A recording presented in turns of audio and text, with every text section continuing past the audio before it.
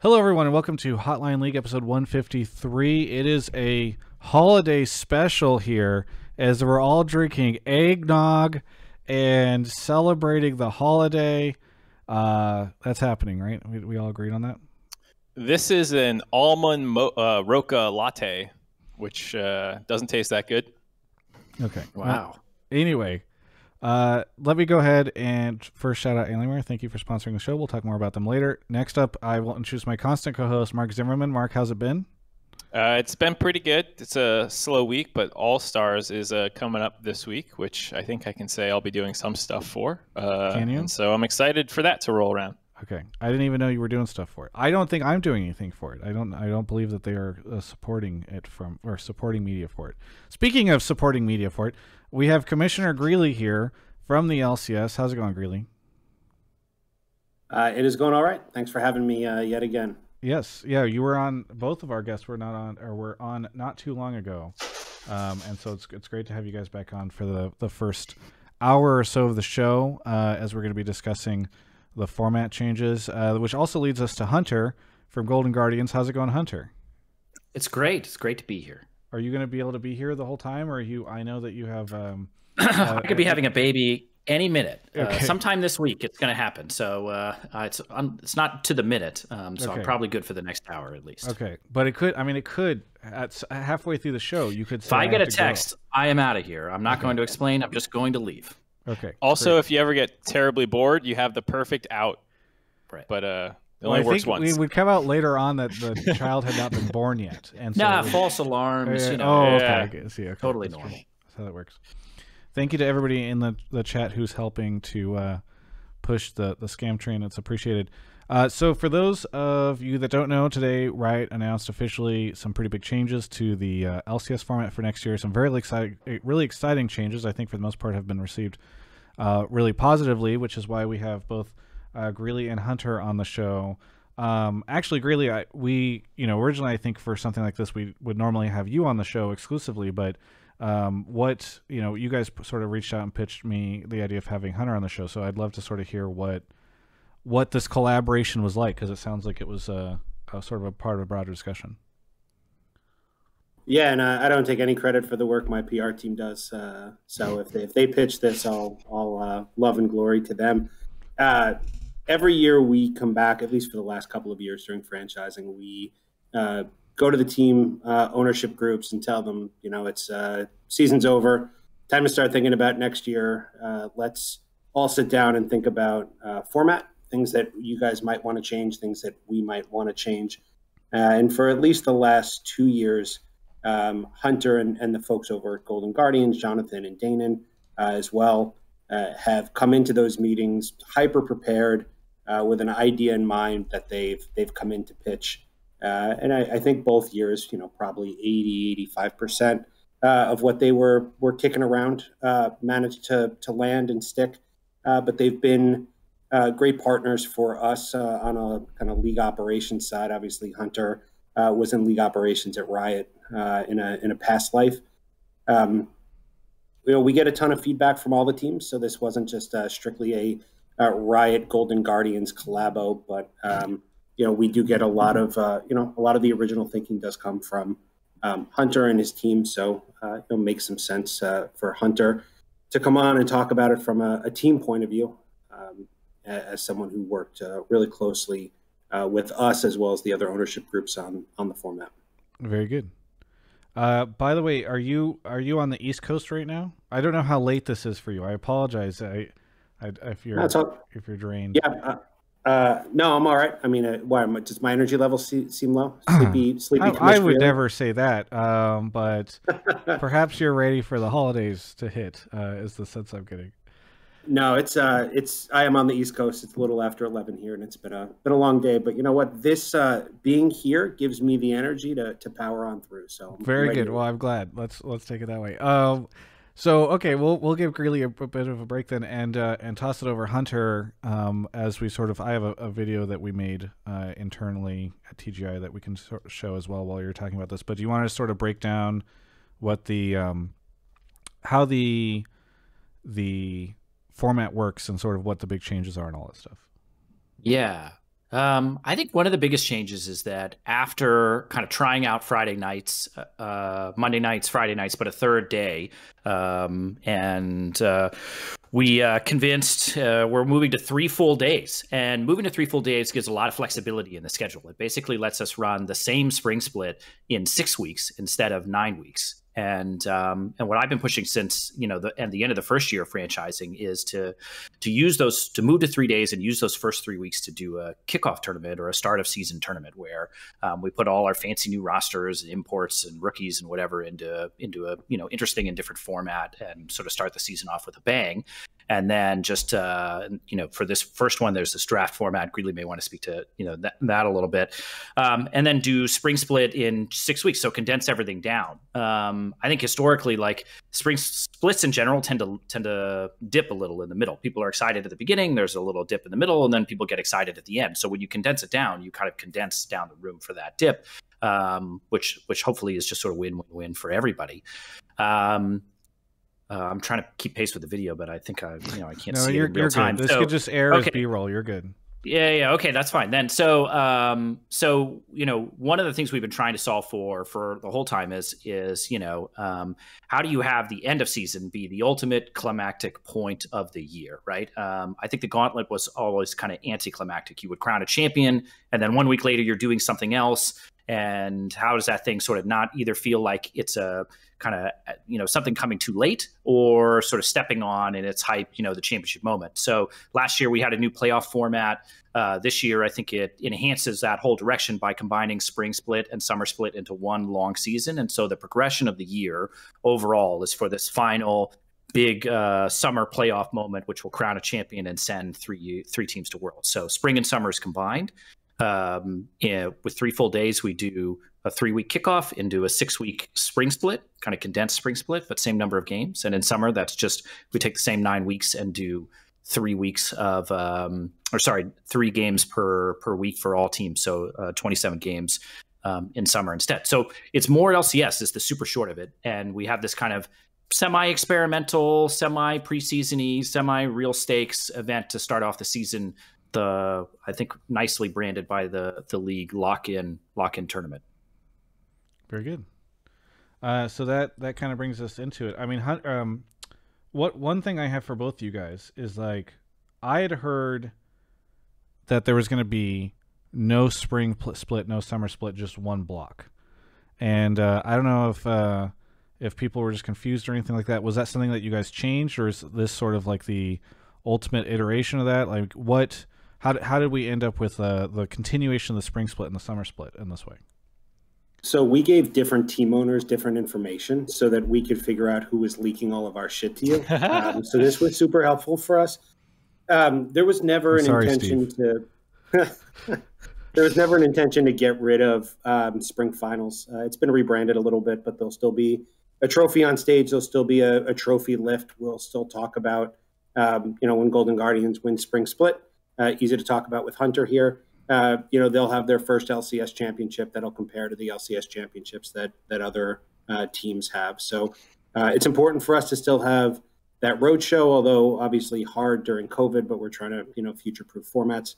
Um, important for us to have that. Important for us to have those kind of uh, outreach moments, those championship moments, those trophy lift moments. You know, we we didn't want to turn this into baseball, uh, where we just have a, an 18 week slog that goes into into the playoffs. I think you know, Hunter talked about uh, viewership being really strong at the beginning uh, and really strong at the end, and it lags in the middle. If we move to one full season, uh, I think you know from week four or five of spring until week six or seven of summer, uh, it's a pretty good opportunity for people to tune out and just kind of catch the story at the end. And obviously, that's that's not something we want. We I think we uh, put together with with teams and pro players really good stories, really good narratives uh, throughout the split, and we want to keep people engaged.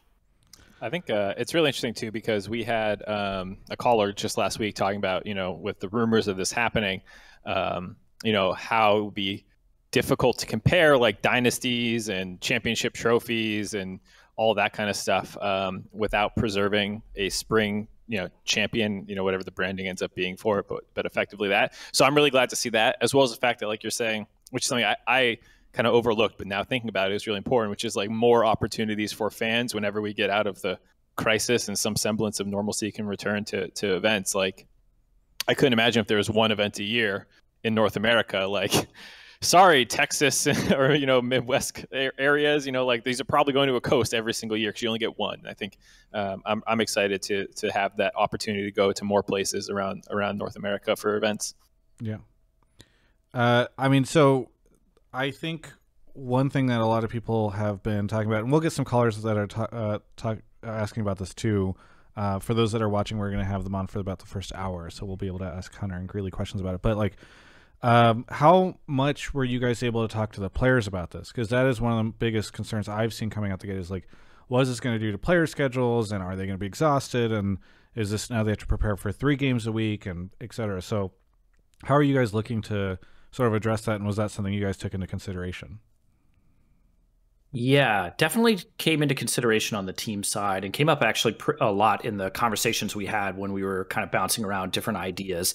Um, so uh, I don't actually think this will increase the burden on players in particular from seeing them both on scrim days and on game days. Um, in a lot of ways, game days are are lighter, uh, which may not you know see it make sense from home, but um, there's a lot of downtime built into the LCS day itself because there's only sort of one hour of activity. There's a lot of lead up to that, sometimes anxiety and energy and other things, but um, there's a very different rhythm to those days. So having three of those instead of um, instead of two and sort of swapping out a scrim day I, is probably less work overall, like less raw hours of work. And so I, I don't think it will be a, an increase in the, you know, the sort of pace or the, the burnout that's affecting players.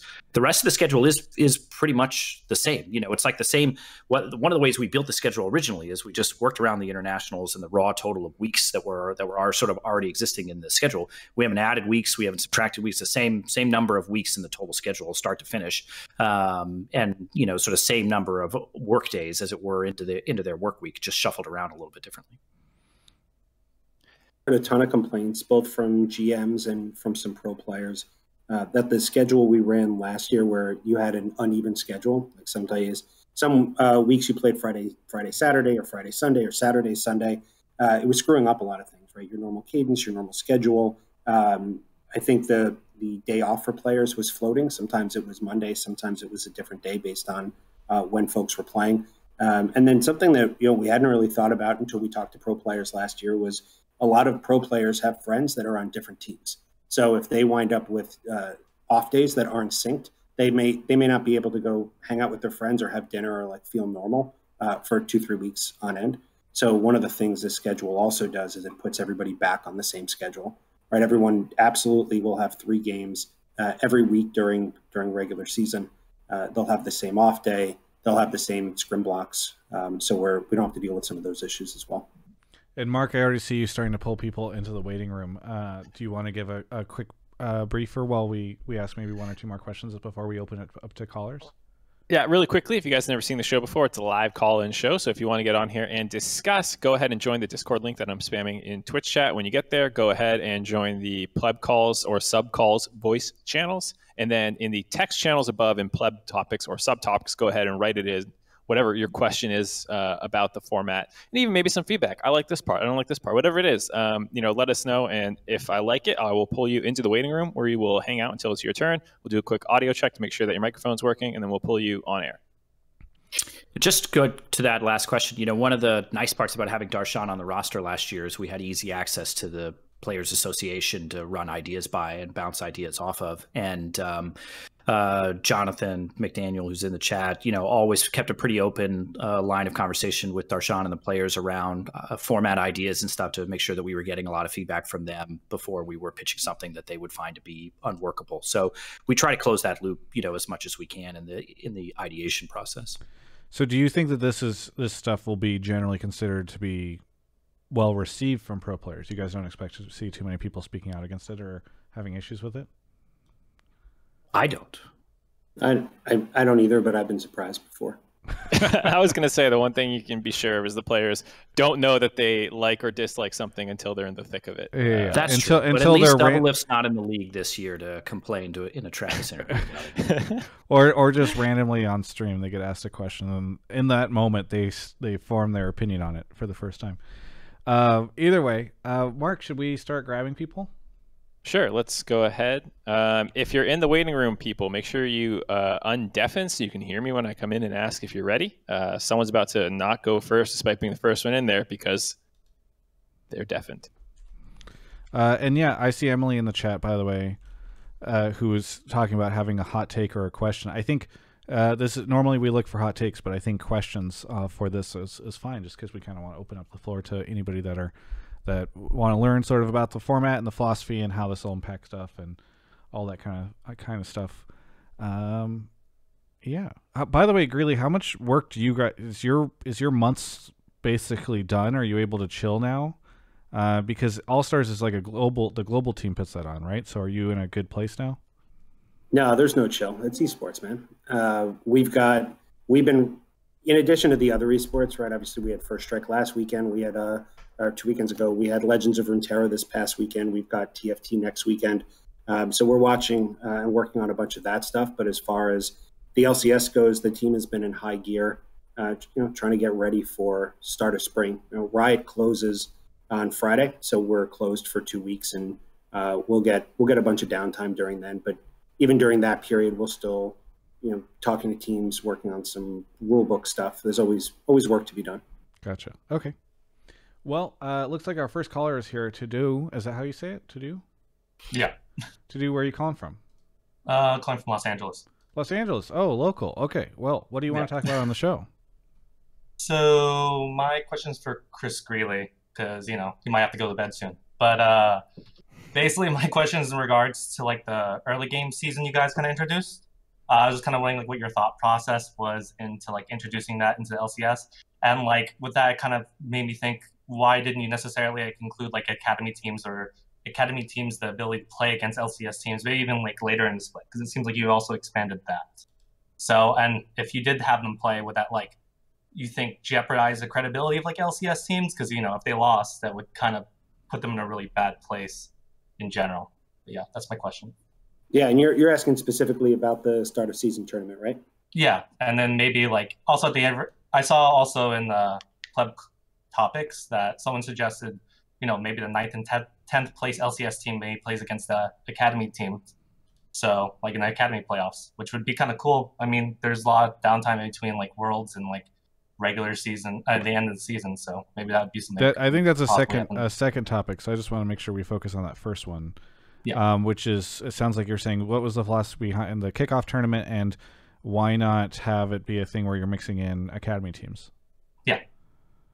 Yeah, we wanted to give uh, we wanted to do a couple of things, right? We wanted to give teams an opportunity to show off new rosters, new players, new combinations. Uh, we also wanted to give teams an opportunity to experiment um, as we're going into spring split. If you've got a couple folks on the roster, you want to see other rosters pulling together. You want to give them some competition. You want to give them a bunch of games. We wanted to create an atmosphere uh, to do that, and obviously, we want uh, the tournament to be entertaining. Right? Worst thing we can do is put on a three week tournament that nobody cares about. Uh, you know, kind of waste of time for for all of us. Uh, we did talk a lot about who should be playing in that tournament. So we talked about academy teams. Uh, with some of the changes to ad, uh, academy and amateur this year, we talked about amateur teams and college teams, and you know, what if we went 24 teams kind of coming in, and, and what does that wind up looking like? Ultimately, with all the changes that we're putting into academy and amateur, uh, we thought it was better to kind of you know start small, right? Let's crawl and see if see how fans like the tournaments, what teams say about the tournaments, are, are, are pro players happy to be playing there, uh, and potentially look to expand in the future. Uh, we wanted to make sure that we had a format uh, for the tournament that felt good, that was compelling. We tried a lot of uh, really interesting things. I know Hunter's team had a had a really cool format that we just couldn't find a way to explain to people. Um, so we ultimately pivoted away from that. We had a format on the table for a while that went from a group format into kind of a cool double gauntlet that that met in the middle. Um, that was a fun one, but uh, kind of the things we wanted to focus on were making sure that a bunch of teams got to play a bunch of games against each other. Uh, you know, a huge loss for us would be if the you know we had one or two teams that played once or twice and then had two weeks off. Uh, so we wanted to make sure that teams were getting games, uh, we're getting series. We have some best of threes in there, some best of fives as well, uh, and wanted to mix it up.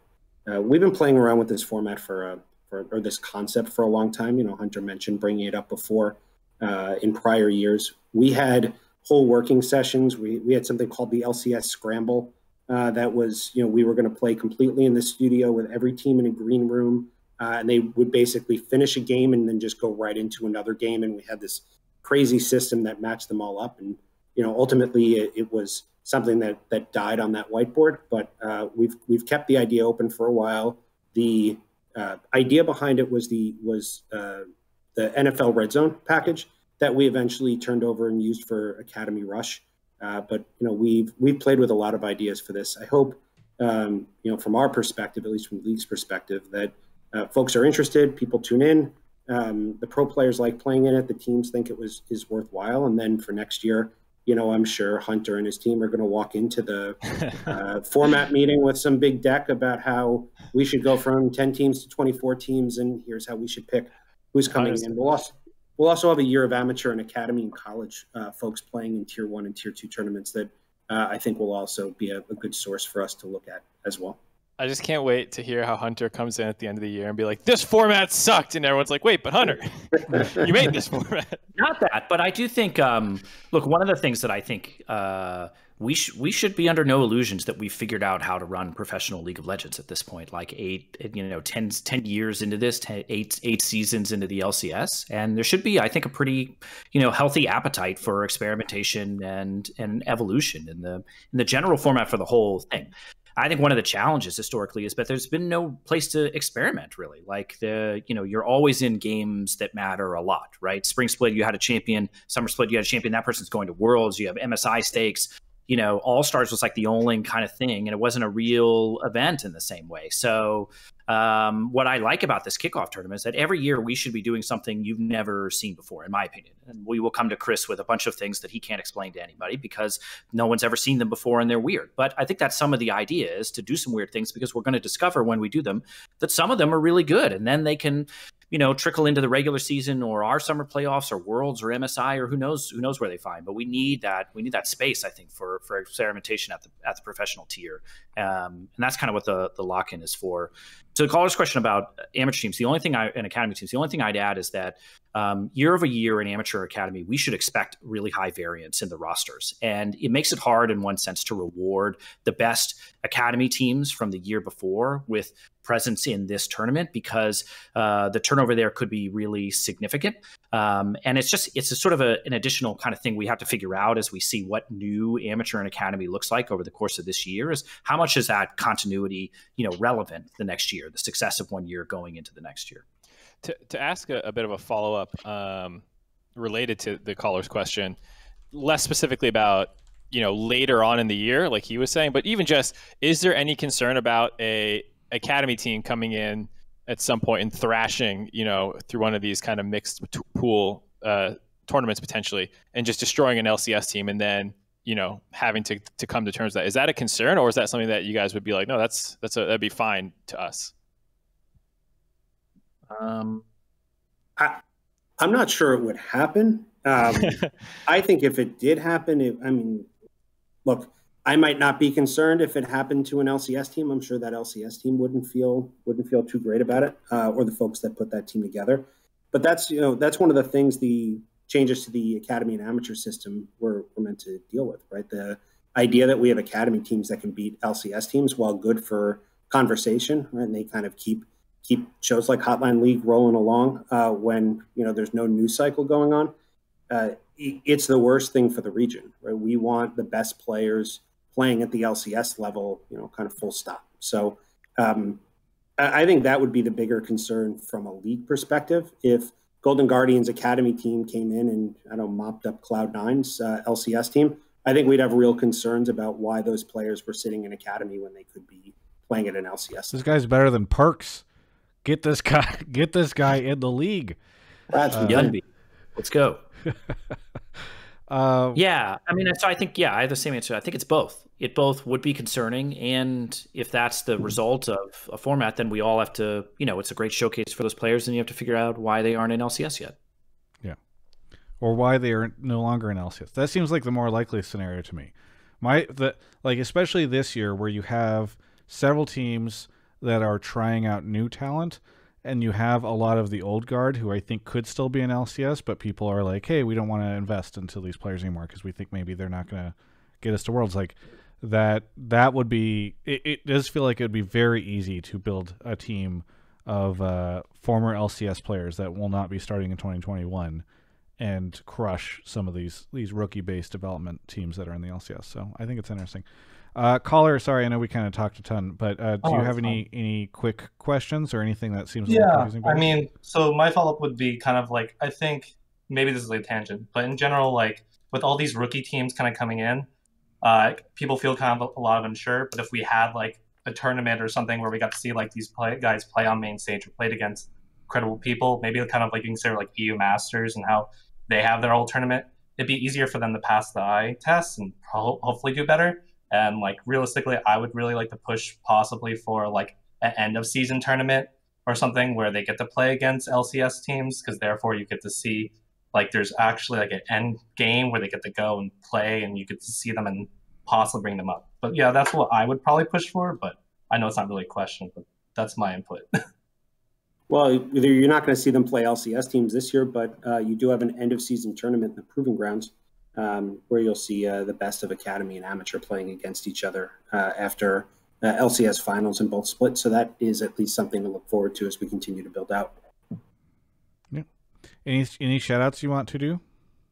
oh, uh, I mean, I really uh, like Mark, and I think that he really likes to subvert subvert expectations, and I think he's going to get mad at a topic, but then he just, you know, calmly responds. So, you know, that's why I like to call it Mark, and also nice for holding up the show, Travis. I really appreciate it. Yeah, of course. Well, thank you for calling in. We appreciate it. Have a good one. Have a good day. Bye. Yeah. All right. Uh, moving on to the next I'm like caller. Game of Thrones season eight, just subverting expectations and True. exploding as I do it. I, I just want to counter that the last caller. Uh, I do not like Mark, uh, and I think Mark sucks. It's great too because he left the channel, so he's not hearing. So you're just literally trash talking him behind his back. Uh, That's amazing.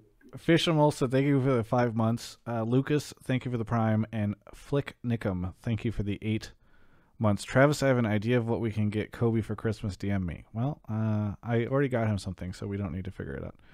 Uh, Nike, uh, thank you for the two months. Um, I am not going to read that message. It's questionable at best. And yeah, I think. Ne- oh, Necromorphine, uh, Chuvol, Poron Mars. It looks like our next caller is here. Student one seven nine. What do you want, or where are you calling from? Uh, calling from Denver currently. Denver. Well, what do you want to talk about on the show? Yeah, so um, I actually really like the new format. I think you guys did a really good job. I think it addresses a lot of problems that people have, and I don't know how many people notice, but I specifically like that the double round robin from spring is smaller, just in case team gets like real hot towards the end. Uh, but I was wondering why it was that you guys ended up going with a three-day condensed schedule of games. Uh, you know, unlike a lot of other sports where people have travel, you know, it's very conceivable that you could play like two Monday night games or a Monday night game, a Tuesday night game, a Wednesday, Thursday, Friday night game, and get like the same amount of games in. Um, so I was just kind of wondering what like the decision making behind that was, and like why you know single night games on weekdays isn't a thing. Uh, and it doesn't seem like something Riot's really ever talked about adding. Yeah, there's a there's a couple reasons for it. Um, they're all, I mean, you know, selfishly, they're all viewership based. Um, we tried some games on Monday. Uh, turns out not a lot of people wanted to watch them. Uh, part of that was the fact that it was too late in the day. Uh, we were, uh, if we had run that show at, at 3 p.m. Pacific uh, instead of running it at 5 or 6 p.m. Pacific, uh, probably would have been a lot better for folks. Something I realized when I spent a little time in the middle of the season back on the East Coast uh, and realized that our games were, were really late. Um, uh, part of it is there's a, an incredible expense to spin up the studio. So, like, let's talk not COVID world, right? COVID, obviously, remote. Uh, it's it's easier to do a lot of stuff, but um, yeah, there's a to turn everything on in the studio, get all the folks in who operate the cameras and the audio. Uh, costs a ton of money to do, uh, and to only run one game uh, in those nights is uh, you know relatively inefficient for us. Um, you also wind up getting lost uh, in terms of uh, team uh, visibility. So if I put you know Hunter's game on on Wednesday night or Tuesday night, uh, and they're the only game on that night, right? There's nothing to lead in. There's nothing that follows them. Uh, it's hard to hard to actually get people to watch those games.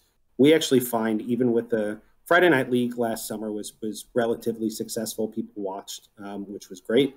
Um, but what what we tended to find was that viewership would build through the first game into the second game, and then would kind of peak towards the end of the second game, uh, the way it does on a Saturday or Sunday. And like all that told us was you need more games behind it, right? As as viewership continues to ramp up, um, so you lose pieces of that too. It just I know it works in conventional sports, right? You can you can put on the TV most nights and watch an NBA game or a baseball game um, or a hockey game during season. Uh, but it, you know, our viewership patterns just don't don't trend the same, uh, and we really want to uh, create a compelling product for everybody to watch. Right? We want the broadcast to be good and entertaining. We want folks to tune into it. Um, we don't want to create a culture where people check the winner or just watch the highlights in the morning. Right? It, it kind of pulls apart for us. Hunter, I don't know if you have other thoughts. I know you've dealt with this for a long time and you see it from a team perspective as well.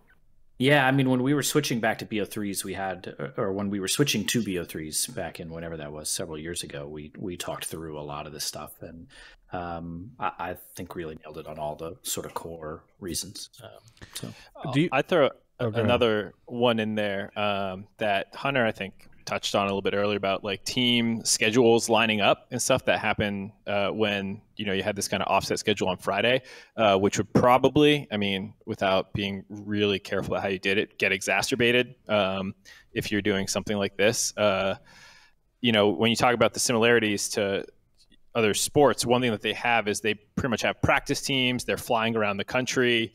Um, there are reasons that a team can't play Saturday, Sunday uh, including physical wear and tear. And like, there, there's so many reasons that they actually space things out the way that they do.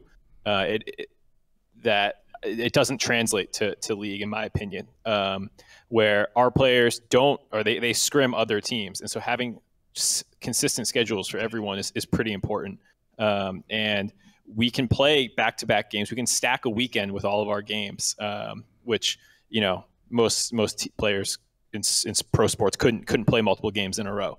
Um, and so like I think a lot of these things allow us to target our fan base, which is also younger people who are busier on weeknights. Um, you know, a lot of people have school and stuff, uh, whereas on weekends they're more free. And Twitch as a whole, like Greeley was saying, you know, viewership is is building when a, channel turns on. You don't get the same kind of carryover like happens in in TV, as I understand it. So like I think all these reasons uh, make it pretty. Uh, pretty difficult to to put them inconsistently across weeknights. Yeah. Uh, Jim Jim Dubs in the chat says, "How does Riot know viewership doesn't trend that way if they've never really tried it?" Well, Greeley did mention they tried it on Mondays, and two, I mean, this is just kind of a, known factor on Twitch. Is like if you you you want longer running stuff to accumulate viewership and and have it. So this this makes a ton of sense to me. I do have a question on the viewership stuff while we're on it. Um, do you guys expect viewership to be lower uh, in terms of concurrence, but higher in minutes watched, I guess, over the course of this. Because in a in a in a sense, like it's unlikely you're going to always have the same when you're spreading out the games a little bit more and you're you're having more games. I'm guessing people will not just all watch 50% more or however much more. So I'm guessing um there's an expectation that maybe like the highs will be lower, but then like overall minutes will be um higher. I think we have some expectation. So I, I, I bet that on Saturday and Sundays we're not going to see a market change uh, in either direction. Um, my guess is that Friday performs better than Friday did last year, uh, with a couple more games and, and an earlier start time. Uh, and I, I, don't think it'll have an effect on the highs. Right? People still want to watch the big moments, and there's a lot of fans who don't care about the normal game. Right? They want to watch the biggest game that they feel has the most impact or when their favorite team plays a team that they also really like or don't like or whatever their individual motivations are. So um, I, I don't think this is going to be one of those situations where we add games and we expect that viewership um, is going to be lower. Uh, I, our average minute audience, which is generally the metric that we use and we report on, uh, which is just the uh, average number of viewers who watch uh, any minute of the broadcast, that'll probably go down uh, because we're putting more games into Friday, right? Uh, and there's more games on the calendar. But you know, ultimately, um, I think this is just better. I mean, you know, put, to put a fan hat on, right? I think this is just better for fans, right? More games, more matchups. If you want to see Golden Guardians play Team Liquid, you get to watch that um, more often now, right? You get an extra one of those matchups. Uh, when the fifth matchup comes around in summer, Uh, there'll kind of be some funky things with side selection. Uh, you get a tournament, you get some BO3s, you get some BO5s. Like I, I think it's a, a great time to be an LCS fan in terms of format. Nice. And really in terms of everything. But well, I know we're we only have another twenty or so minutes, so student, unfortunately, we don't have too much time for follow ups. But is there any uh, anything you want to shout out? Uh, no, I uh, you know I think that answers the question pretty cleanly. Uh, maybe if you guys eventually get a bigger presence on the S and Riot games, you can kind of get that build up with like other esports and get it beneficial that way. That would be cool. So something to think about in the future. But thanks for having me on, guys. I appreciate yeah, thanks it. so much, student. Have a good one. Yep. Bye. All right, moving on to the next caller. Uh, thank you. To... I, I have a pitch for you guys. Have you ever considered being the ESPN of esports? Whoa. There's a You know, there's that- a space for that now. that's fresh and new, uh, and I've never heard that before. We should talk about that after this. Uh, Mark, Yeah. See where it goes. Uh, Ji- uh, Chief, thank you for the uh, gifting a community sub. Jimmy Vin, who also gifted a sub to Mahmoud. Uh, Turtle Lord, uh, if you don't like Malazan, thank you for the sub. That's uh, Hunter really likes Malazan, by the way. So, uh, Kenjo Olive, that's that's his thing. Uh, Abunai Karjiri and B Crow Twitch. Looks like we got Coach Dom here. Coach Dom, where are you calling from? Uh, Chicago. Chicago. Oh wow, how's the ping? Ah, It's great. Good, good. yeah. Uh, is that is that why you coach there? You can. It's easy to get people uh, to become gods in a low ping environment. Um, yeah. I think there's a, a lot of good Illinois players, and I think that uh, the ping helps. Nice. Well, what do you want to talk about on the show? Uh, so my topic was about how um, with these changes, uh, it is more enticing to advertisers Um, because I think it's going to lead to higher viewership and more watch time. Um, and with that, it's going to put more stability in the league. And on top of that, um, with the summer season playoff format, I think it makes more sense with 12 teams than it does with 10 teams. So I I think it would be uh, beneficial for the team to or for the league to increase to 12 teams within like one or two years.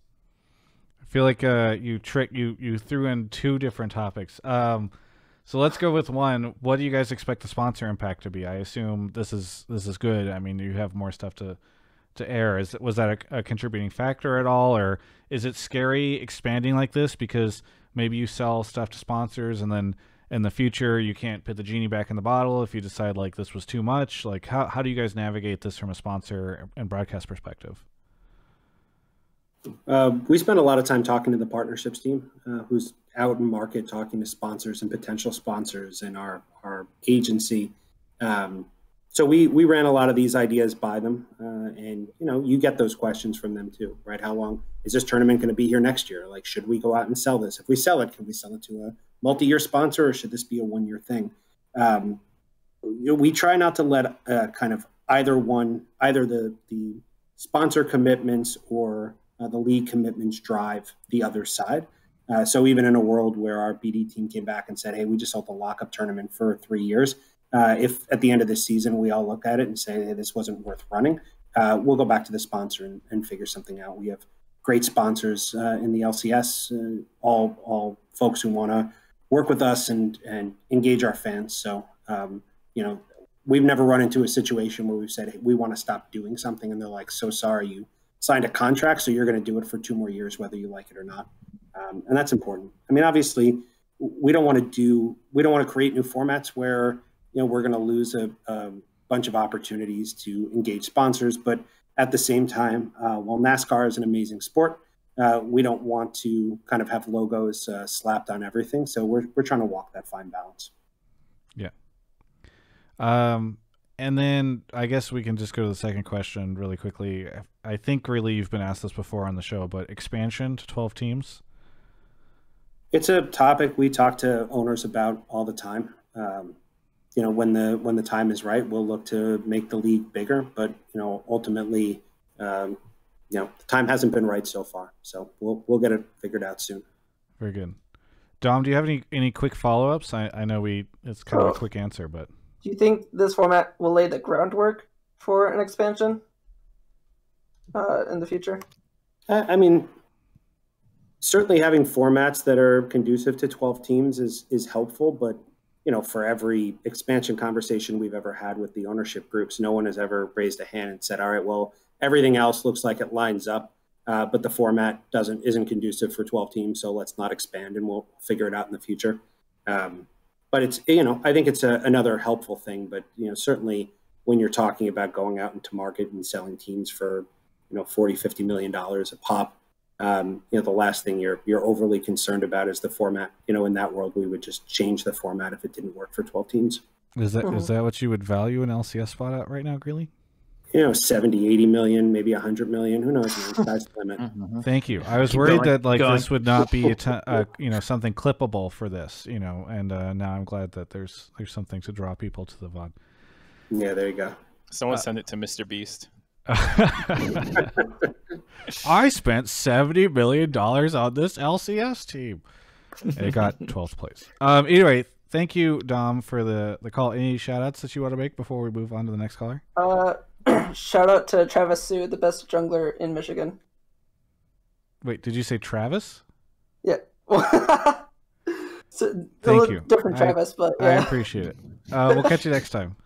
I take issue with that on on both accounts. That one, you're a jungler, even, and two, that you're in Michigan. That would have been surprising. I've I've been up to a lot this offseason. Uh, thank you to Nuclei for the gifted sub.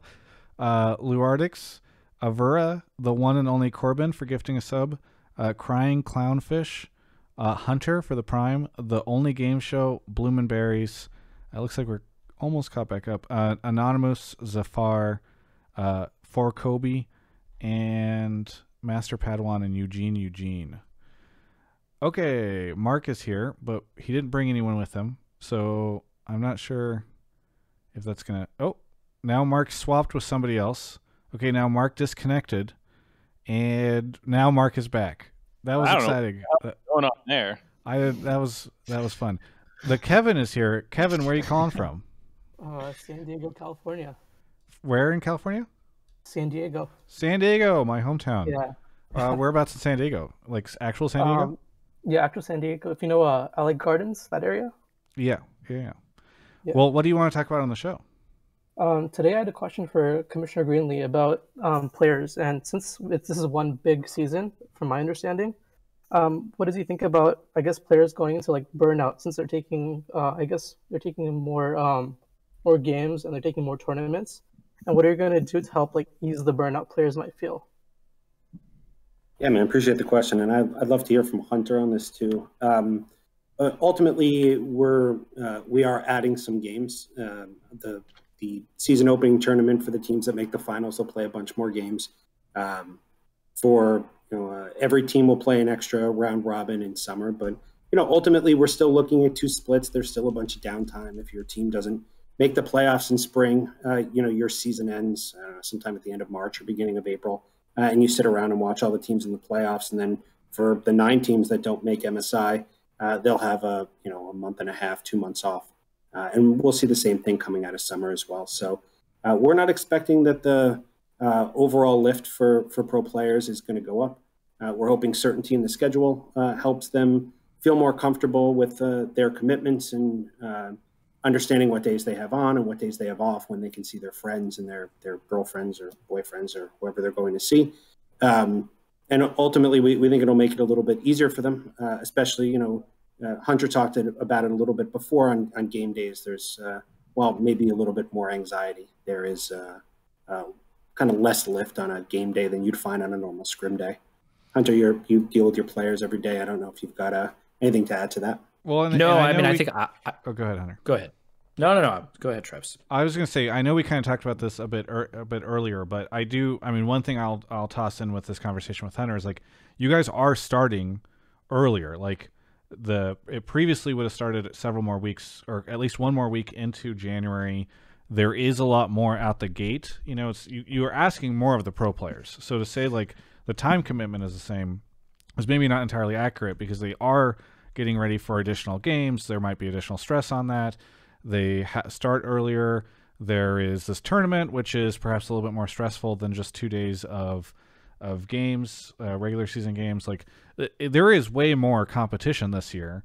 you can't say fans were giving you guys more competition, but pro players were expecting the same from you, right? Because it is it is a bit of a different mix for them at least.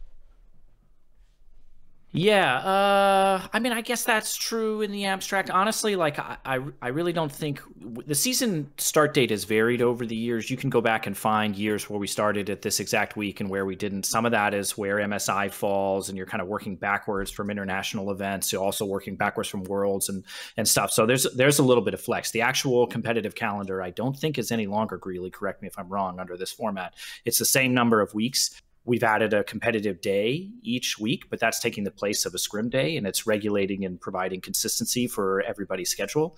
Like I really, I, I think top teams are going to play a lot of games. They they did in the previous year. The deeper you go into playoffs, the more series you play. We increase the complexity of playoff formats, so playoff teams are playing more matches on average. Um, you know, I think this is more LCS for fans of LCS. For the pro player on just like a, week to week grind, and especially over the course of the year, I don't think this is like a meaningful increase. And again, when we were sort of back channeling and ideating with uh, with Darshan and players and you know people in house, everybody was pretty excited excited about these changes. Uh, pros want a, a, format that rewards the best teams and that has a lot of you know kind of competitive uh, focus and thrust into it. They're going to be happy with this because it has more of that in it. And do like, you practice is fine, but they like playing games. You know, like you you lift all those weights so that you can get out on the field and actually play the games. And and as a team owner, I mean, how are you guys approaching that opening tournament, right? Because generally speaking uh, you know, tournaments require, I think, a little bit more attention and grinding and that kind of thing. I don't know if you guys have already started scrimming, if teams are starting to scrim, if if there's a lot of pressure to make sure that the teams are ready for that, or if the the tournament is lighthearted or designed in a way that like it almost serves as a bit of a practice and opening for the split. Like how how how seriously will will teams be expected to to take that? Yeah, I'll give you what I pitched. And I mean, actually, Greeley and I haven't talked about this since the this specific format came out. When when we were sort of pitching a kickoff tournament, it was to have something that felt slightly lower stakes than the regular season, but had enough stakes that teams would try hard enough. Um, and I feel like we kind of dialed that in for year one, but I, I, you know, that was before we had a specific format that like this is the format of this tournament.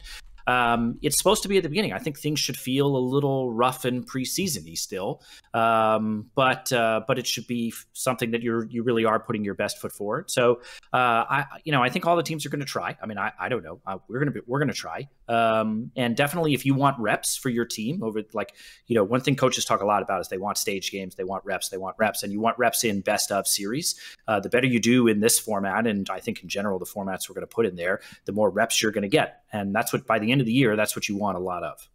Yeah, I can say uh, on the broadcast, if Golden Guardians doesn't come out immediately and slam that tournament, I will uh, equate that to their entire performance level um, for the for the rest of the year. I mean, you that's you fair. Them, you put them tenth last year. I expect you to put them tenth again, uh, Mark. I know. I know you said you were going to put your power rankings on my YouTube channel. I'm very excited. They, have been they've been penciling it tenth since uh, before they even announced their roster. Okay, gotcha, gotcha. And uh, we've been penciled in tenth all four years so far. anyway, uh, thanks, Kevin, for the call. Anything you want to shout out? Uh, is it okay if I ask another question really quick? If if you make it real quick, because we do have yeah, one more this, person, and I don't. Want um, this may be a naive question to ask, but um, do do you think players will ever get bored of playing too many games? Uh, I players like games. Um, I think they get tired of losing, but other than that, no, I don't think they get tired of playing. Uh, like practice is definitely like a, another scrim day. Nobody wants another scrim day. They'd much rather take a game day. Okay, thank you so much. I'll, ask a question really quick uh, while uh, Mark is getting our final caller because I don't think it's popped up yet, unless it is our final caller, in which case I'm going to feel really bad. But uh, one of the criticisms I did see when the announcement was was put out was like, all right, you guys play 45 games, I think, right, over the course of the regular season. And then you still all all it does at the end is sort of determine seeding and eliminate two teams from playoffs. Like you still have 80% of the league entering playoffs from all those games. So um, why why sort of design it that way? Why not make it a little bit more strict? I guess there's there's two things from uh, from my perspective at least. One is that uh, you still have MSI uh, as a checkpoint. So we're still going to have spring finals. Um, still going to have the mid-season showdown. I think uh, I think that's what it's called now. Um, which is an opportunity. You know, we're still going to pull six teams in there. There's still going to be a prize pool, a trophy lift. You're still, you know, you're going to go represent the region uh, for MSI. When you get to the end of summer, um, we looked at a lot of different scenarios. Uh, you know, we looked at the team that you know couldn't couldn't pull it together in spring, had a really bad spring split, uh, and then you know kind of found their footing in summer. And you know, how would they make playoffs? What would things look like? Um, we also did a we looked at you know essentially if we use this format in prior years understanding that it's never quite apples to apples right? Teams may react differently when when stakes are slightly different. Um, it didn't have huge impacts on the teams that would ultimately qualify in uh, for playoffs having having the full season piece. Uh, but when we're able to connect it we think we'll get better kind of full season storylines. We think we'll get um, you know kind of more opportunities for teams like hunters last year where i don't think you know anyone expected them. I mean, I did personally because you know I'm, I'm, I'm a genius, but I don't think there were a lot of folks out there who expected them to to have the great performance they did in the playoffs last year and uh, kind of create this great run that they had. Um, I think you're going to see that. And then look, at the end of the day, if the seventh and eighth teams come in and they get blasted in the the first weekend, then like you know you we've got two series and and we kind of move on uh, into the rest. I, I think it uh, provides opportunities for teams uh, to take some risks during the season. Uh, I think it helps us balance summer against spring split. Uh, and you know, one of the goals we have when we come in to develop formats is making sure that we're sending the best teams that we can to international competition. So when you have a, a situation uh, in summer where you could have a team that clicked or came on late or picked up somebody or moved somebody up from the from their academy team and everything fell together, uh, you do want to give them that chance to try to play through. Playing out of the seventh or eighth spot in the summer playoffs is not easy uh, you know, finding your trip to finals from there is extremely difficult. But uh, you know, when you eliminate the gauntlet, you try to pull a couple of things together. It made the most sense to us. Um, and as the caller before noted, you know, when we move up to twelve teams, it'll feel perfect. Yeah.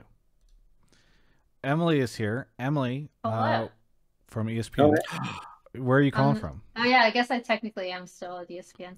I'm yeah. calling from Culver City, California. Culver, nice. Culver City, California hope you're hope you're hanging in there. Um, we're we all are big fans of your work and excited to see what happens next year.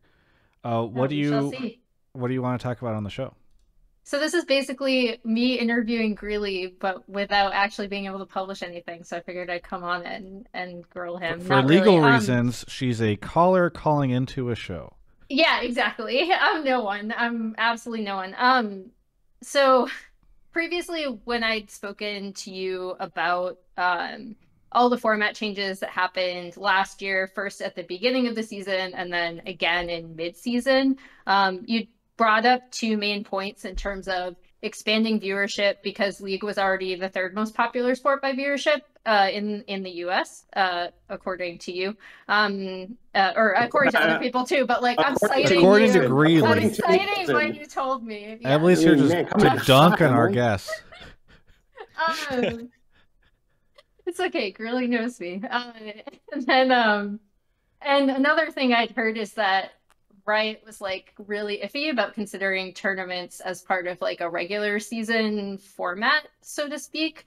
Um, so I kind of wanted to ask you about uh, what made you change like if that if that was true then what made you change your mind regarding including something like the lcs lock-in um, which is a tournament uh, kind of piggybacking into like league format i'm a big fan personally because i actually really like tournament formats better than league formats but in a franchise league, I can see why you wouldn't be doing tournaments constantly.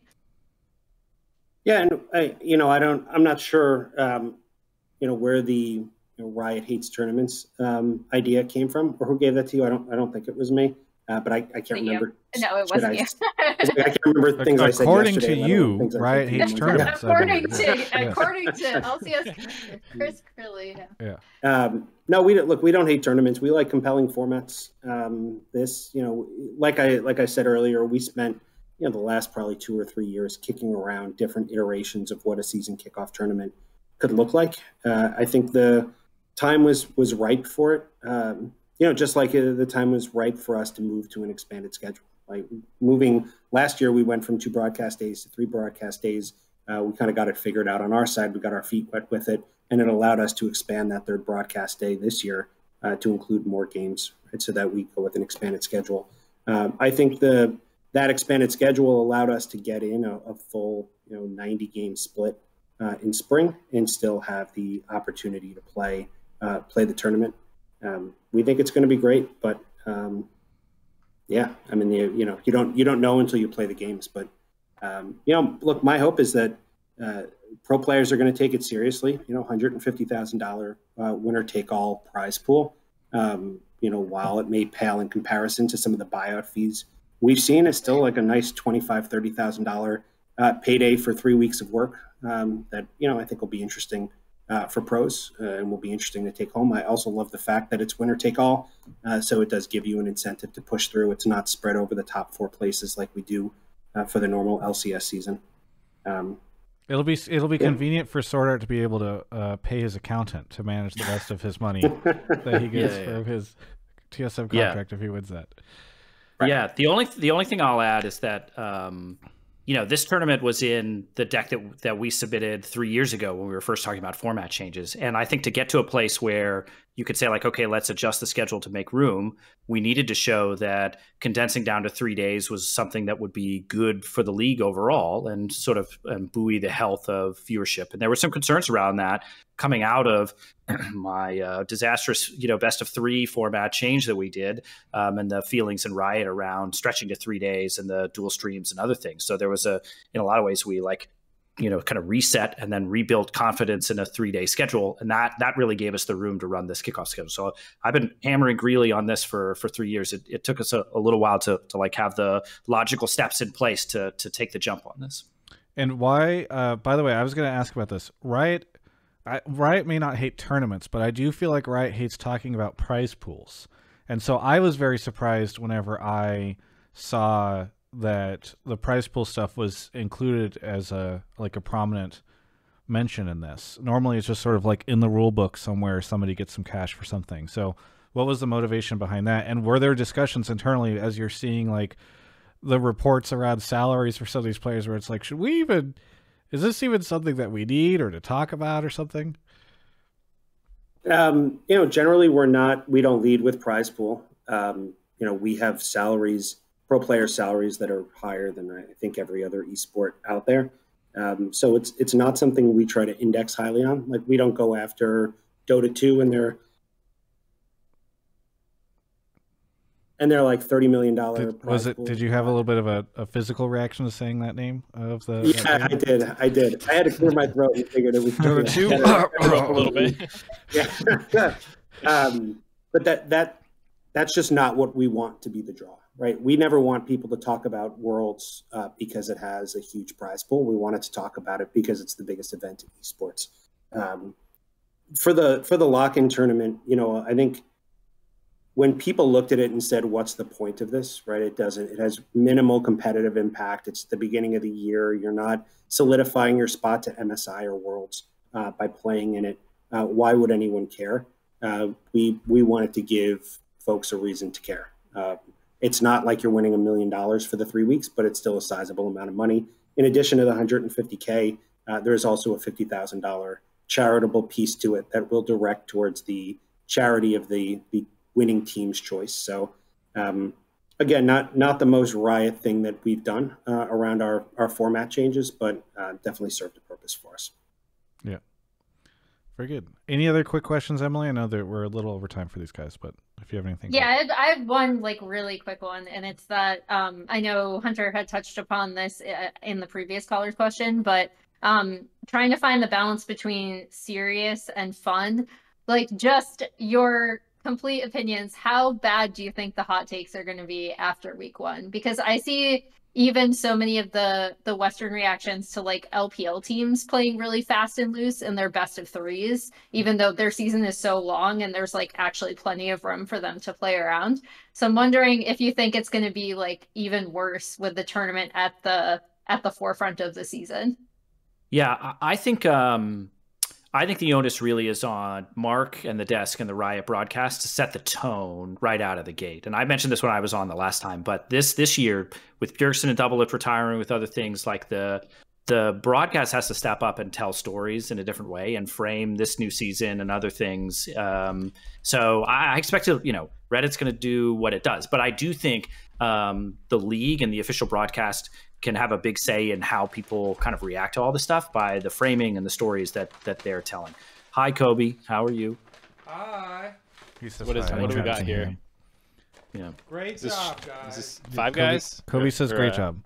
Uh, it's in and no, out. five guys, I mean, in and out. So you yeah. know, I, and I don't know, Chris. I'm, I'm not sure how much you guys have. If you want to tip tip your hand on on uh, storytelling at all as you guys are approaching this, or Mark, I don't know if you guys are having any meetings about this at all yet. But but that that's my answer to you, Emily. Is I think it'll be bad, of course. That but that's like hot take culture is what it is. But I do think the broadcast um, can shape this uh, significantly depending on how what approach they take.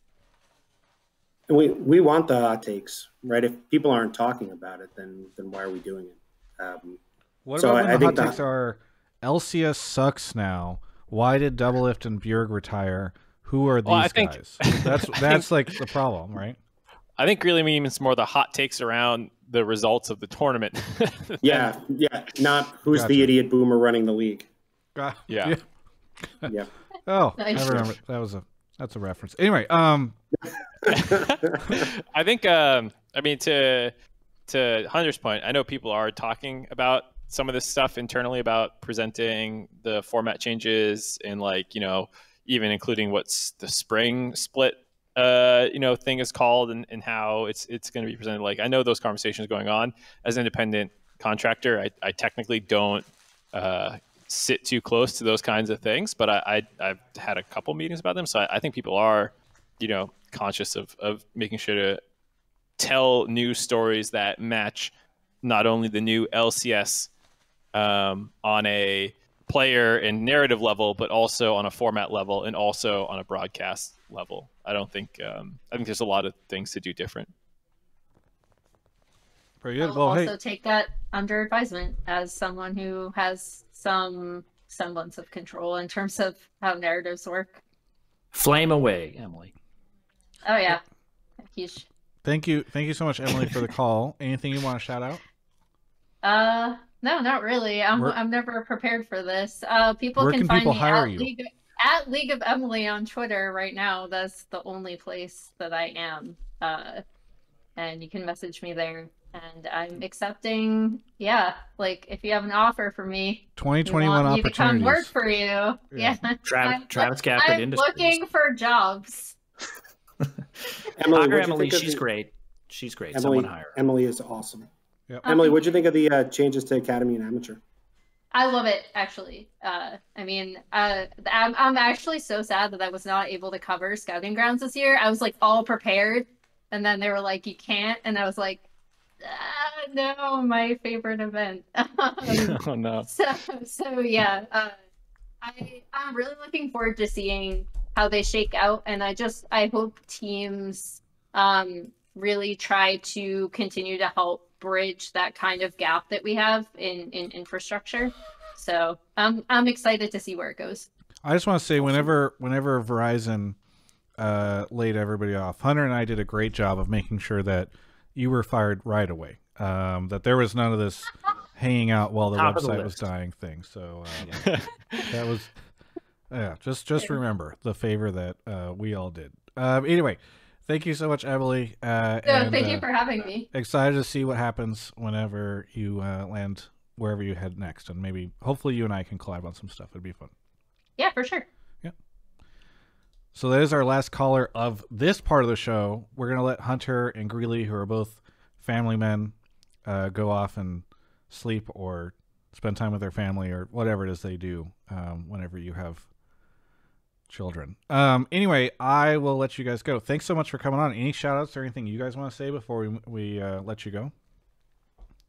Uh, I, I want to say thank you to Greeley and all of Riot for you know getting way more feedback than they want from Golden Guardians on virtually every topic that touches the league in one form or another. And you know the format process in general, year over year, um, it gets the format gets better and better, the process gets better and better, and uh, you know we really do feel welcome to bring all of our crazy ideas, and slowly but surely we're getting them all in. Very good. Are we? uh, Is there a particularly crazy idea that you you've tried to put in, but you can talk about, and it won't cause trouble, or, or is all your wackiest ideas still under lock and key? Mm, I I don't think I would tip my hand on anything yet because I think that would put odd pressure on Greeley to incorporate it, and Mm. I'd rather let our our spitballing, you know, spitball in in relative obscurity. Your I academy just love. Jonathan in the chat. Yeah, I Yeah, I gonna mean say he can gulag. type whatever he wants. They keep That's saying not what I. gulag over and over again. Yeah, yeah. John does have a. It doesn't matter. And, and Yut, who is a uh, member of the broadcast, I believe, says one v one for tiebreakers. Yeah, that's a terrible idea. We've talked Uh, about that. Yeah, it's a terrible idea. one, too. Yeah, well, I mean, that's why we're not doing it, but we certainly talked about it a lot. We think it would have been really fun for the first like week or two, but when you hit week six of, of tiebreakers, uh, where you got to play a bunch of one v ones on broadcast, probably not so much. Um, I'd like to thank Travis and Mark for having me on the show. Um, thank you guys, uh, and for Hunter for agreeing to appear beside me, which I know is uh, damaging for him. Would have to look at my face next to his face. I'm sensing so much animosity here. um, and of course, that uh, laugh? That was that was concerning. Anyway, sorry. Continue. Uh, and then shout out all the teams. Uh, you know, Golden Guardians chief amongst them for for helping us get here uh, on format. But it's uh, you know takes a village. So we went to a lot of teams, took a lot of feedback, uh, worked through a lot of format issues, uh, took a lot of ideas. So I tell the owners when we when we dial in for that call every year that it's my favorite call of the year. Um, it's not me being facetious. It is my favorite kind of brainstorming activity with all the teams as we talk through our goals for for format, the things we're trying to get out of it, um, look at our results from last year, the things that worked, the things that didn't work, and you know can kind of hear everyone's crazy ideas about what could work uh, in the future. So uh, really excited for LCS 2021. Uh, I'm ready for it to get started. I'm, I'm tired of kind of sitting around watching other stuff, waiting for it. So uh, By the way, I one- can't come fast enough. One quick question that I knew I would I would ask because I've seen a ton. I already know the answer to this, but like, we are there's nobody in the studio next next year, right? Cases skyrocketing. Um, currently, no plans to have anyone in the studio. I think for at least the lock-in tournament, uh, Gotcha. we'll see if we can get um, some of our talent uh, into the the studio after that. If we can do it in a way that's safe. Um, obviously, there's you know Cool. no no reason to move off remote if we can't keep people safe. I'll buy a hazmat suit. There you go. That'd be great. Well, you should I'm buy gonna a let you guys hazmat suit. Wear it in your apartment. I'm gonna let you guys know. Go. Sorry, I know that we're way over time. Thank you so much, Hunter and Greeley, and we'll catch you next time. Awesome. Thanks, guys. See you guys. Thanks, guys. Yep. See it. Okay, let's see how quickly I can I can fix the layout and get us going back in. How are you how are you doing, Mark? How's your reaction to all this stuff now that they are uh now that they are gone? Oh, Why did you leave, Travis? Uh, that was a mistake. I was trying to disconnect from the Skype call or disconnect Greeley from the Skype call. All right, I'm Um, kicking Greeley. I did it. Yeah. you left. I was like, and the other two were still here. He's I was still, like, what he's the still fuck in the Skype call. How can we remove, remove from call? There we go. Okay. I was gonna say we can just start a new one without him. No, no, we're good. Um, Mark, how are you doing? And what now that they're gone, what were your reactions to to this? We could have done this earlier, but I know we just got straight into this top stuff. So, like, what uh, what was your reaction to this whenever you saw the format changes? Well, I mean, you basically shared all of them for the most part um, previously, and I had spoken to my bosses about the new format a little bit for some of the things that you, I think, might have not been positive on, like the the spring split still having a tournament. You know, Yeah, I don't Um, know. I like the idea of Spring Split having a tournament. I just wasn't sure about. Yeah. I just Um, mean, like you know, last week when we were oh, talking I wasn't about sure it, what the yeah stakes were and all that. yeah, stuff, yeah, yeah. I was I was already in, in like a little bit in the know on that, so I had to be careful then saying what I said. Uh, but but yeah, I I'm more or less. I think the changes are all good. Um, you know, I, I'm curious to see what comes of the the spring kickoff tournament. It feels like the biggest like X factor to me. Otherwise, it doesn't feel well. There is actually the carryover of games between spring and summer. I think is actually the most important thing that people aren't talking about. There's not even Um, a spring and summer. That's what I feel like they scammed me. Spring split is not a thing. You're, we're splitting nothing. Well, right. I mean, like, there's a mid-season tournament is the way to call it. It's not spring and summer. It's it's you know, it, and it's not even first half, second half, because technically the the first half There's- is the yeah. only double round robin with an extra tournament tacked onto the end. Right. Uh, but uh, But I do think calling it up, spring and summer is going to be slightly confusing because oh, LS is in the chat. Um, I'm happy to hear about the health stuff that happened in your life recently, LS. That um, things are, are looking up for for woman, I believe is her name. Either way, um, I I just think it's interesting because I do wonder if calling it spring split and summer split will make people not realize for a while that like the games and the records and everything continue. So on. it's it's it's not. I'm pretty sure. I, so this is. I don't want to speak out of turn. So don't take this as like I know for sure because I admittedly don't know for sure. But I I don't know if it's going to be branded still spring and summer. Um, like I said, I think the the spring the, the thing that was previously would be a spring tournament is now the mid season. They are calling it spring. Spring. I can tell you because I got I got briefed on it, and I mean that's what Oh, they called it just now on the on the show. So Yeah, I didn't know if that was like a you know colloquial spring. Sure. Um, but- Sherman Sherman in the chat who works at Riot is saying the calendar is split into two parts of spring and summer. But and I that is true. I just think that uh that's that's a, that's an easy justification for trying to keep the sp- spring split summer split because nothing about the nature of spring and summer splits are are continuing on. Right, like, Anyway, format structure wise they're pretty similar but the fact that they're linked is is a huge part. And like I was saying that's the biggest thing i'm, I'm most concerned about is um, what kind of effect having a team starting summer as 10th place with potentially an abysmal record or a first place team like if, if tl or c9 just fucking slams coming in with like a six game lead in, in spring or summer already you know like maybe that changes and we have these really cool periods of time and all this stuff but that's uh, that i think is is the the thing that concerns me most where there's a lot of other parts that i'm hype i really like the changes that they made to the actual tournaments too about like making sure that people can't or or trying to make sure people don't repeat matchups like what happened with golden guardians and tsm again Yeah. um, those kinds of things are, are all really good changes Yep. Anyway, uh, let's open up the lines for calls. Right? They don't have to necessarily be format. Maybe they can be about any number of different things. But if they are about Yeah. format, maybe people feel what is what is very true is like like there was somebody that was yelling at or t- telling Hunter he didn't have a brain on uh, the subreddit today. These people never actually call into the show. Um, but it does demonstrate to me that I think some people might be willing to call in now Well- that they're not here. So, we'll see how it so wait where'd the guy go is this the right guy did you? there was someone who there was someone who did not like the changes but i don't know what happened We should have had them on whenever they did. They not want to come on when we had them on. Um, they they posted before, but like just depending on how people are structuring their takes, it's the kind of thing where like I'm not sure they'll have the you know nuance slash respect that I would want, but Yeah. I don't think their takes inherently wrong or anything. You know, like sometimes there's just how people word things that I might stay away from the guest on a more contentious topic. Or it's way, more like uh, a, or it's an opinion more than it is like a hey, what do you think about this? And I'm, I want the opinion, but not when we have questions for the people. Twitch chat. Did anything else happen in this past week? I feel like nothing happened this last week. Thank God the format stuff happened because otherwise we'd have nothing to talk about. To Greeley's point. Um, people on Twitch chat usually give me an idea, but like, I don't know. I've been paying attention and uh, haven't seen anything. Oh, one thing I can tease right now. I will tease right now. Oh, we I can do the Alienware break soon, but um, I am this week doing a Bjergsen retirement interview uh, that'll be recorded, and you guys will be able to check it out. So I'm pretty excited about that. I think that'll be good. That's content you guys. It'll probably release early next week. Um, I'll probably do a stream, like a stream debut, so everybody can watch it together. Hopefully, it'll be fairly long. Um, we have I have an hour with them, so we'll see. I don't know if it's going to be an hour, but yeah, I'm happy about it. Yeah, I don't know when the Reggie interview is. I've DM'd him multiple times and haven't heard back. This is this is a bit of a if you're not. YOLO. Um, Ghost's microphone is not.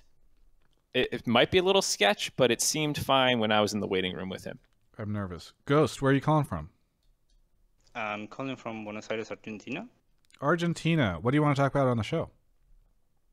Uh, so basically, my take. Oh, well, I mean, I guess this would have worked more if Greeley was still here, but my take kind of is that the format changes or LCS won't do a whole lot because spring still pretty much doesn't matter except for deciding which team goes to MSI. There's not really many stakes, and summer is still the more the more important uh, tournament, I guess. But everyone seems to like the the changes. Like more than just saying the take, I wanted to be converted into the the the format. Okay, I'm I'm excited to hear the comparison. I already take issue with a couple things, but go ahead. Uh, I mean, Co- yeah, I mean, Oh. spring is still mostly for MSI, no? Well, spring is for MSI, but all those games count as much as the summer games do, because they don't. Uh, for regular season, right? Yeah, so like if you, for instance, if you go undefeated, um, Uh-huh. and another team loses most of their games, you are entering summer with a huge advantage, uh, like a huge game lead for playoffs, right?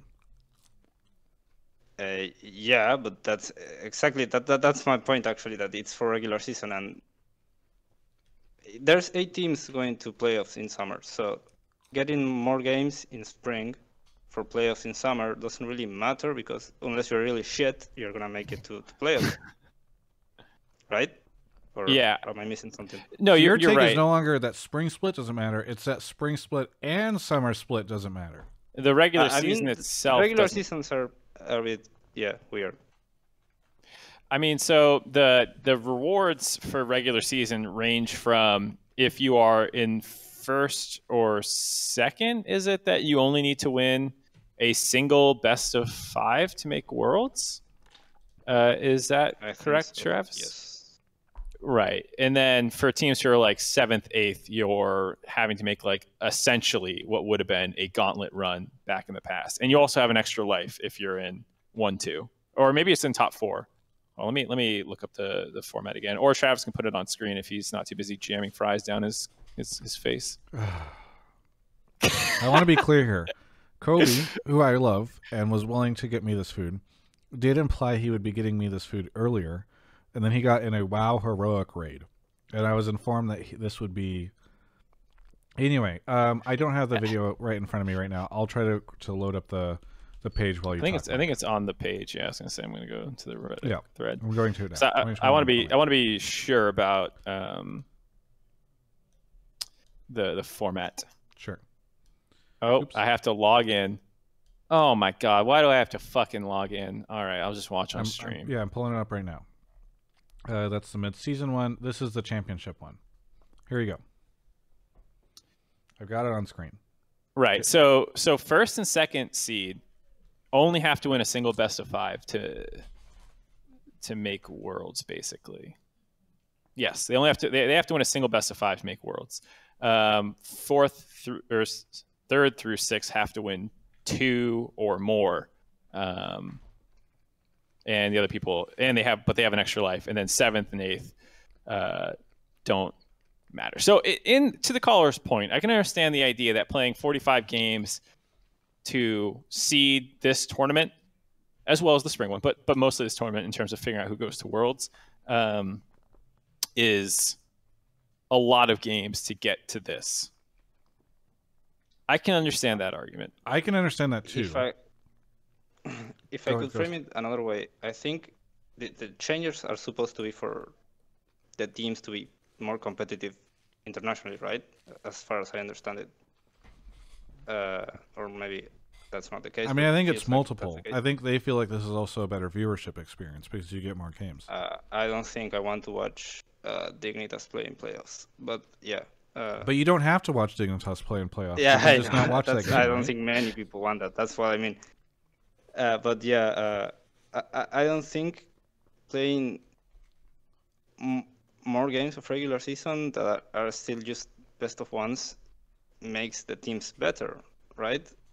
What but if I told you these are all best of fives, just split across an entire year? i mean that i don't think that's Uh, the same skill set that you're training i can't get I behind mean, that yeah, point I mean, if if Riot framed it that way, right, is a whole lot of best of fives over a whole season, that would be pretty cool. I don't think that's the case. I also I don't don't think the, the framing even even I'm not lines too up. hot on the, on the format still. So so here's here's where I'll agree. I can understand that 54 games or 45 games, excuse me, getting to that point does feel like a lot. In terms of being better for a competitive environment, I would say like Travis was saying, each there's a lot of changes, and not all of them are furthering the same point. So like having more games done faster and on three days a week could be a better viewership experience for people, but that's not the part that's improving.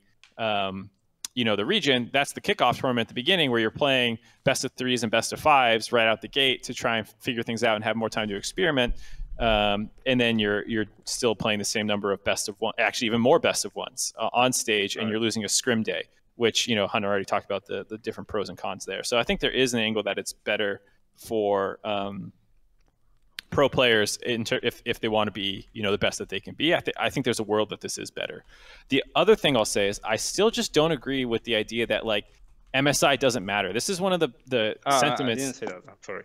Yeah i know you didn't say it but it seems to be implied when you're talking about games in spring don't matter when they lead to one of the only two international events that happen Oh, so like. This is one of the things when people say, "Oh, the regular season doesn't matter." It's like, well, it leads not only to the summer games, but it also leads to the spring uh, uh, tournament. So, like, if the point is that that doesn't matter in your mind, I would be, I would ask why. And if you think it does matter, well, then clearly those regular season games are do, do matter for that. Yeah, I mean, most. I guess I framed it poorly, but my point was that it won't. It won't really affect how LCS teams perform at MSI and Worlds necessarily, just by changing the format like this. Um, I, I here's the I'm thing. not I- convinced that a format change is how we fix our problem. Yeah, that's what I was Uh, gonna say. Is yeah. I I agree with you. A format change w- doesn't and will never fix NA. We have I just played best Uh, of threes, and we fucking performed some of the worst we've ever performed with best of threes.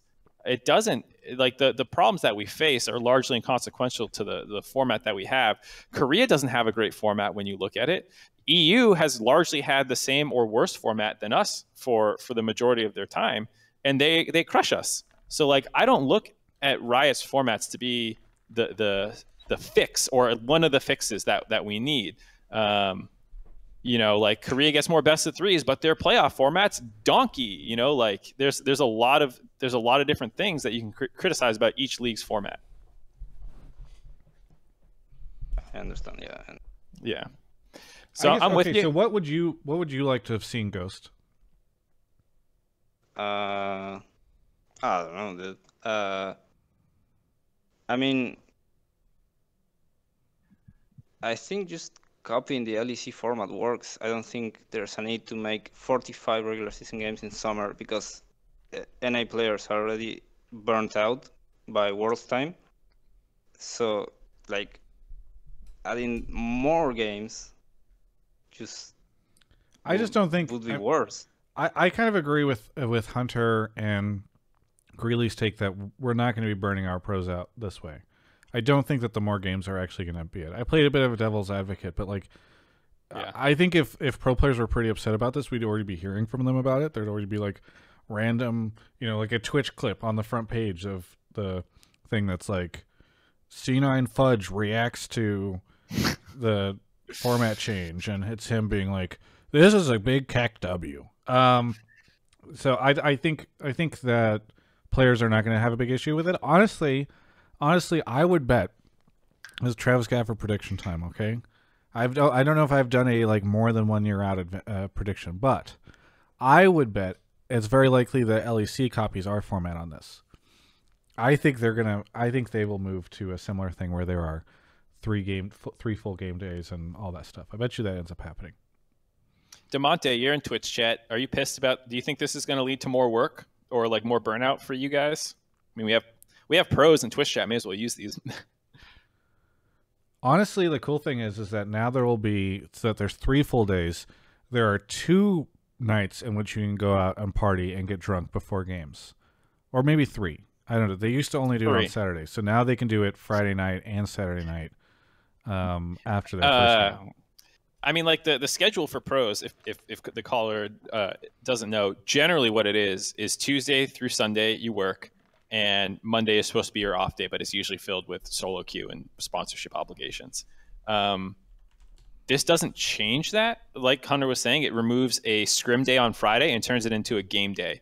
Uh, but those are, like he was saying, actually usually less busy than than scrim days because scrim days are usually um, uh, two to three blocks of best of series that you're playing over the course of that day. Whereas this is like you show up to the studio two or three hours beforehand, you dick around until you go on and stage, and you play your games, then you go home, and it's like three hours of work, four hours of work maybe, um, maybe a little bit more if you're if you're doing pick band for the next day as well.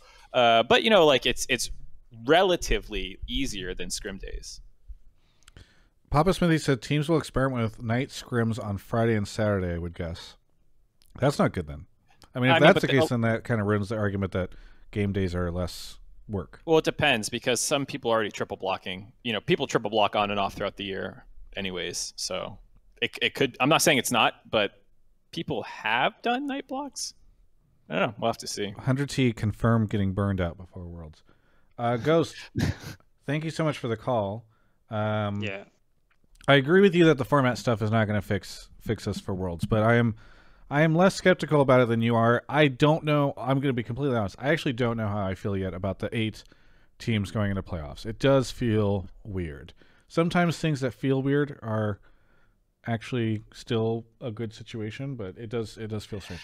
I, I mean, yeah, I'm. I also also agree with that a little bit. That like, you know, the seventh, eighth teams are probably bad, and I don't need to watch a series of them. But if there's some, the one thing I'll say actually, I didn't like it last year when we had summer to decide this. But there, it's possible that a team sucked in spring and improved in summer and clinched their way in in seventh and eighth, which is something that wouldn't have happened last year. Usually, if a team was bad enough to be seventh, eighth through nine weeks and 18 games, they're probably just not a good team. But if a team makes improvements or whatever, this this expanded system does give them a chance to rally in. And I hope we see that because otherwise, yeah, you're having a boring seven eight, and you watch them play one best of five, get knocked down. We all go, great, let's get on with the teams that have a chance. Ghost, thank you so much for the call. And uh, you have any quick shout outs? Uh, okay, well, to just to leave real quick, uh, I actually agree with most of what you guys said. Uh, I actually kind of understand better. Like it was a problem of me misunderstanding the format, not necessarily anything else. Sure. And to shout out, I want to shout out FlyQuest for having an Argentinian player. I want to Josedeodo. And yeah, that's it. Nice. Are you gonna watch LCS? Did you already watch LCS a ton last year? Uh, yeah, kinda. Yeah, a bit. Uh, Are you yeah, now a FlyQuest fan because of Jose? Yes, absolutely. Nice. I'm I- excited. I don't have any other reason to watch LCS now. well, I'm glad you got at least that. Hopefully they don't ban him. anyway, thanks so much, Ghost. We'll catch you. Yeah. Yeah. See you have a guys. good one. Okay. On to the next caller. Actually, Mark. Oh, fuck. I was gonna. I was gonna do an ad. Uh, I need to bring up Twitch chat. Remind me, please. Uh, Doogly Bear. Think of it. Three months. Bucks Cabaret. The Lone Dinosaur. Uh, the Elo Burger. Silverius and Nuclei gifted a sub as well. Uh, waiting on. Waiting on. Uh, our next caller. By the way, I hope everyone's being safe. It is uh like I know Christmas is coming up next week and I would just say please be safe because uh there's especially if you're in North America the COVID stuff is really popping off. So just make sure you're making safe decisions. This is my plea to everybody. Um it is uh pretty spooky. Just go look at the data especially if you're outside of the U.S. and you want to just just look up like California COVID cases, you'll get this crazy chart that uh So before we get to the next caller, Travis, I, I Yeah. pulled two callers who had opinions about who was going to win the kickoff event. Um, and I was thinking we've never done this before, but what if we had the two callers on to to argue? are the two and- callers the callers I think they are? Uh, well, one is the caller you think it is. The other one, I don't think so. Oh, okay. Blue Jay is not one of them. Okay. Uh, Uh, but I was I was going to save it for the end. I was going to do it for the end. No, let's let's do it separate just because I don't want one person. If it was Blue Jay and our other caller, then I would I would. They were like, down for it. I ran it by personalities. I ran it by him, and, and I'm gonna. The guy didn't sound like he was he was you know gonna fold. So I, I, and if we moderate, maybe it works. I don't know. It'd be fun, right? Okay, Let's okay, have some we'll- fun. we'll try- it's we'll the try. off season. Like Hunter just said, is this not the time to experiment with the format of our show? Mark, Hey, what's up, Blue Jay? we've had 153 episodes. I don't want to fuck this up. Okay, this is the best thing. this is the longest standing thing I've got going. It- we do it's a- this one experiment, and the show just it's a- implodes. It's a cash cow. Okay, you don't you don't mess with cash cows because this baby, it's just printing money for me. Okay, callers call in, they go moo, and then the money shows up. Speaking of which, Blue Jays here. Blue Jay, remind me where you're calling from. Calling from Ontario. Ontario. What do you want to talk about on the show? Yeah, so my take is that the new LCS format is not just good, it's actually great, but I worry that the lock in tournament will get a little bit stale as years go on. So even though I'm really hyped and really excited for it this year, I think it'll kind of get a little bit stale over time. And I want to discuss the idea of making the lock in tournament a new and improved Rift Rivals. Oh God, Um, yeah. Jesus, Blue Jay. all these times you've called in and still you give me cakes like this. Anyway, go ahead.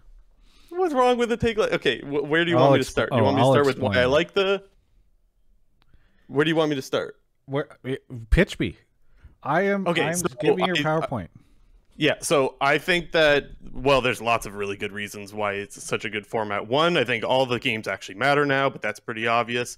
I, I really also like how it's more weighted on the summer side versus the spring side. Um, I think it gives like more of a, a better representation of how good teams are at the time, right before going into World. So I like that like 60% of the the games are in summer. I think that's really good. Um, as for the lock-in tournament, I feel like it will always be good for the players with like cash incentive. I think that's really cool. Um, but I think that there's not a lot of incentives for fans to get hyped uh, four or five years down the road. I think it'll get a little bit repetitive. Okay. Um, so one thing, and I, maybe you just missed it, but I think it was Hunter mentioned that it's something that they are probably going to keep experimenting with. What this tournament is, whether that means bringing in academy um, teams potentially. They sound a little adverse to that idea, but like it, if I'm Hunter, it sounds I do like not it's want academy teams in this thing. Yeah, I think it, I forget who was saying, but someone said like you know you have to worry about how good they'll be if there's high turnover rate from those kinds of teams. Um, but it did sound like they were they were open to this tournament getting moved and changed quite a bit in the future. Yeah, Right. that I loved when he said that. I think that he's exactly right. I think that you do want something that's not going to be the same every year because it doesn't directly contribute to where teams will finish in the regular season or in playoffs or anything like that. So, from a fan perspective, it doesn't really matter that much. Um, but obviously, there's the incentives for the players, right? Like cash incentive. I think that's pretty cool. And so, I think I don't know. I think if you do something new all the time, I think that's something like really excited, and that's what's valuable to the fans. However, uh, the reason why I wanted to talk about maybe making it a new and improved Rift Rivals is because I think that's what makes it really exciting for the fans. Um, but you would obviously need a non-COVID year for that to happen, and you would also have to worry about jet lag like right before the season starts, right? So there's some backside to that. okay, so Yeah. here's here's why you're wrong on a couple things. Um, Okay. let me just- Here's why let you're me so just- fucking let me just ex- let me let me break this down for you, Mr. J. Um, one, the cash prize is a total red herring. I the cash prize is there because they need to, in my opinion, they need to trick fans because fans will claim this is like not worth it. They'll be like, "What's the point?" And so they know that just by sticking 150 grand on it, that pros or that fans won't say that. I really do not think the vast majority of these pro players who are getting paid a ton of money are going to care about it. I mean, it's a nice to have, but like that you're not going to see like SwordArt come out swinging against Perkz because he's like, "Oh God, got to get me a piece of that 25k," you know? Yeah, that's Um, true. That's true. that only a single person's gonna like a single team will win. Yeah, yeah, it's it's winner takes all. So I mean, I think it's the fun. fifty thousand dollars towards a charity of their choice? Uh, yeah. I mean, I that's nice, right? But like again, it's not um something that's going to really affect their bottom line. So I just don't. I I think that's there to to stop anybody. It was probably put in there before Doublelift retired. Let's put it that way. Um. Anyway, so they then uh in terms of the it getting stale one to mark's point like yeah uh, greeley and hunter both said that they might change the stuff up in the future but i actually think the kickoff tournament is perfect because the most honestly the most exciting time in so many ways for the lcs is the off season because right after eu kicks us in the face and says all this stuff about us on reddit we pillage their coffers and take all their talent and bring it over here. And we build these crazy teams that everyone gets really excited to see. And I think, like, sure, having the league stuff where you get to see people play every that's fun, but seeing all these teams actually match up, seeing the shit show and setting the narratives, like it'll be it'll make Mark and the analyst S job so much easier eh, right after that tournament happens because they'll be able to say, "Wow, these guys really overperformed in the tournament. Are they going to be able to like do stuff?" And then they only have 6 weeks to fill, so you no longer have the awkward like week 6 of the spring split where it's like, "Yep, this team's been shit for a while and they're going to continue." So, I just think uh I think that it it is going to be always a way more exciting event for the the fans and the players because the players are going to be like, "Oh, we just started scrimming last week, dog," and like the patch is bad, and what is who cares about this money? Like as long as that Riot can stop the pro players from saying that in interviews with me, and trust me, I'm pretty good at getting them to say stuff like that. Um, like Why are you trying to kill the scene? They're going to be fine. Yeah, let's just. I'm trying to bring this baby down. Um, Um, so I, I don't. We can talk about the Rift Rival stuff in a second, but I, I think you're you have the whole uh, kickoff tournament, the lock-in thing, um, to a little bit inverted. I think it'll. I mean, like we don't have a preseason. We don't have preseason games in, in the LCS, which is something that a lot of traditional sports have. And I'm hoping that this is able to have a vibe like that with even maybe a little bit more fun because this is a tournament format instead of just like six games each team plays before they play the games that matter. Because I do think state like not having a, a a preseason can be a little bit weird. Um, so I appreciate that. It's it's taking the place of three weeks that would be in the regular season anyway. So it's not like it's contributing to extra work or it shouldn't be if if I understand it correctly, which is another reason I don't dislike it. Um, it doesn't matter technically towards worlds and stuff, but I'm always of the opinion that like winning in front of 150,000 to 400,000 people is always going to fucking matter. Um, you know, assuming that viewership is good for this tournament. You know, if Niles comes out and smacks, or Perkz does, or maybe C9 comes out and lays a turd, like all of these things matter. Maybe not towards exactly getting you to Worlds, but it'll be a contribution to the scene. I don't want them to gamify it. I don't want it to become uh, all stars or some gimmicky thing with influencers and stuff. I I, I don't mind those for all stars because that's supposed to be just like a hey we're done with the we're, we're done with with the serious stuff. Um, but I would also be concerned about if this turns to Rift Rivals because then like you're saying with the visa travel, the fact that you're not going to bring 20 teams to this tournament, so you're already cutting people out. Because if you bring all 20, it's bigger than Worlds at that point nearly. Yeah, it would be a huge ass tournament. Yeah. Right. So then teams just aren't getting to play in this at the start and they stay home scrimming or like what's the solve for them? I, I think there's a lot of hairy questions you get into when it becomes international, though it would be I would love another international tournament. I mean, I don't want another international tournament after we get our ass beat at Worlds. Because again, you have to think about this narratively. Off season is where we delude ourselves into thinking that we're gonna like we've solved our problems, and so if it's like Worlds, oh we get beat done, aha, we stole perkz from them, and then we just lose again. Like imagine G two just crushes C nine um, after out the gate after we've just gotten perkz. It really takes away like the joy of of that, right? It, it even it, it that's a great way to start it off with. That's like, a a, kick in the defeatist attitude, Travis. What if we start going toe to toe with EU like we used to back in the glory days, and then it's you know fun. I would say the best chance NA has at beating EU would be when everyone's kind of fresh, you know? like teams aren't exactly solidified yet. Now's the time to strike, Travis. But then, but then, but then Make- people do the same thing that they here, did with. Rift Rivals, where they say, "Oh, it doesn't count." lag Yeah, them. we- yeah, you you you beat us on this stupid thing, ha ha ha. Like, I just don't think it's very practical. I do like the idea of international stuff. I'm sad. By by the way, shout out to my video um because I did a video last Friday that I released that I don't think got very much traction, but like the Valorant Riot has created an entirely different esports system for Valorant where there are four international events a year. It, it follows like the major type system. They still have worlds. It's actually really cool. I thought that League fans would be losing their shit because they used to always complain about how there's not enough international events. I released this and everyone just sort of like collectively sighed. I wasn't, and it, my my thing was not to spark like some sort of Riot against Riot or something like that. It's just sort of like I think I think it's intellectually fascinating that this company created an entirely different system um, Mhm. than the one that they have for League. But I like I like the idea of seeing more international events in League. I think that would be fun. It would be expensive for me at TGI. I'd have to figure out how to deal with that, but it would be fun. Do you think uh, it would be like a little don't think- worrisome though if there was like four or five? Well, I don't know how many were there for Valorant. Like four or how many international tournaments would there be? uh, there'd be four. Yeah. Yeah, I, I guess my only concern, and I don't really know if it's a real concern, would be that like maybe Worlds wouldn't be as hype if we kind of know who's the favorites going in for sure. Like I think there's some uncertainty to Worlds because there are so few uh, international tournaments. Like before Worlds happens, that would be only my real like small concern. But even still, I think more international tournaments would be pretty cool. Yeah, I mean, I think there's there's solves for that in the Valorant. I don't think people are going to be going into the Valorant worlds being like, "Well, this is already decided."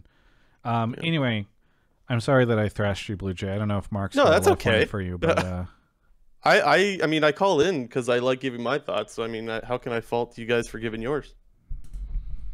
uh, Mark, You can thrash if you have to, man. It's all good. Mark, do you have any uh, any thoughts? I No? gave my thoughts. Okay, I didn't know if you had anything.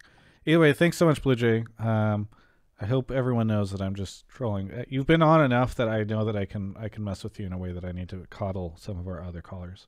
I, I won't, I won't lose any sleep over it. I promise. All right, catch you later. Have a good one. Yeah. Hey, let me shout out my boy though. My boy JNT is about to go head to head with Mahmoud. We got a huge debate coming up, boys. Get some. We got hype. one more Thank- caller before thank- then. Thanks Don't- for don't- using your shout out to spoil the rest of our programming, Bluejay. This is why I try not to Oh, offer Mark you. already- Yeah, you yeah, just yeah, yeah, abuse yeah. All this right, I'm stuff. out of here. I need to take a quick break. Wait, Mark.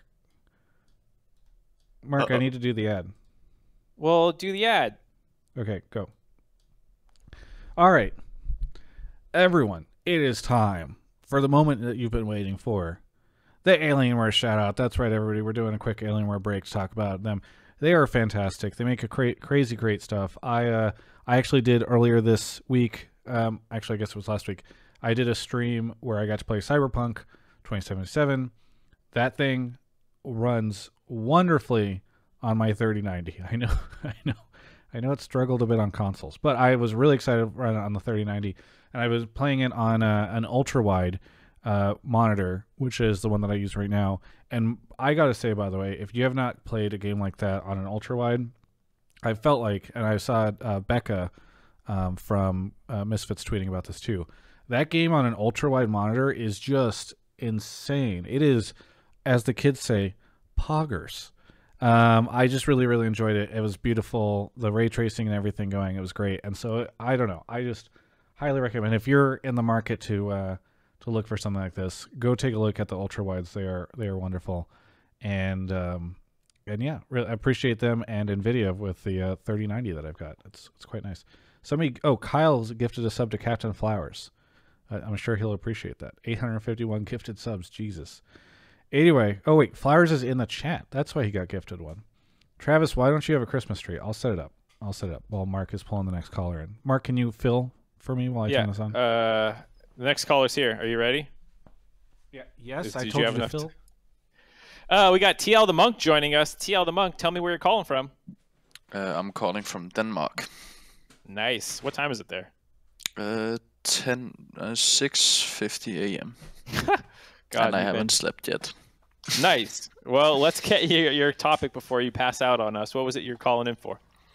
Uh, my take is that teams like C9, who needs more time compared to teams like TL to play well and gel as a team, will suffer in the summer split due to the new format.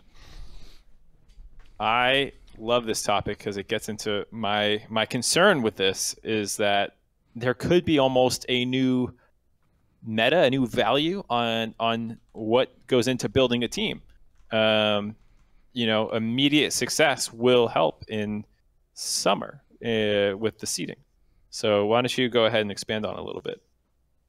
Uh, yeah, 'cause, uh, what I've, from what I've seen from the different teams, like my uh, thoughts on TL are they are gonna gel immediately, just because they're mostly the same team, and they get two people who Jensen really wants to play with, so they're already gonna have good team chemistry there. Whereas teams like C9, they're gonna be in a tough spot with that because there are so many new people in the team and they have so many rookies. So it will be very tough for them to to gel right out of the bat and get performance out of the teams immediately. I mean, at the very least, they have the kickoff tournament, which will help. But I actually wonder. I mean, I we didn't talk about this in the the previous call, but I'm actually wondering how many of these players are going to be able to get their visa stuff sorted in time for the kickoff tournament. Like, if you told me we have a kickoff tournament that doesn't have SwordArt, Al- Alphari, or Perkz in it, I would I would believe you. So, uh, I don't know, Mark. What do you think do. about this? I mean, in a sense, like what I think our first caller after our guests left um, referenced the fact that like regular season doesn't matter. So in a sense, perhaps it's not that big of a deal, right? Yeah, I think it can go one of two ways. Like spring performance now leads into summer placing, so you could argue that it's it is much more important. Um, but with with what Bluejay was saying, you know, sixty percent of the games are in summer still. You have the spring kickoff tournament. You should have enough time to gel. Um, and I, I can see it going either either way. Um, I know that's not a very sexy response to just be like, who knows? But it's how it's how I feel. I'm still like I'm still unsure until I really see it in, in practice how I'm going to feel about the connected splits I mean, I we haven't seen it. Do you think there's a world where we go back? I can't imagine a, there's a world where it's like, ah, never mind. Now we're going to disconnect them. Because I think in doing this, it just makes it so obvious, like how weird it was that spring split was, quote unquote, didn't matter. Yeah, I mean, I've said before that like championship points weren't the cause of the problem with like like I said, it was the auto qualification off championship points that made things weird. As Yeah. opposed to like arguably seeding summer with them. Like you get regular season summer points and spring playoff points combined to make playoff or uh, yeah summer playoffs. Like I, I don't know. There's another way to do it where you can make spring matter off championship points and disconnect the seasons a little bit more again. Um, it would be really weird at this point to go back after you kill championship points and then did this because now we're two steps removed from that system.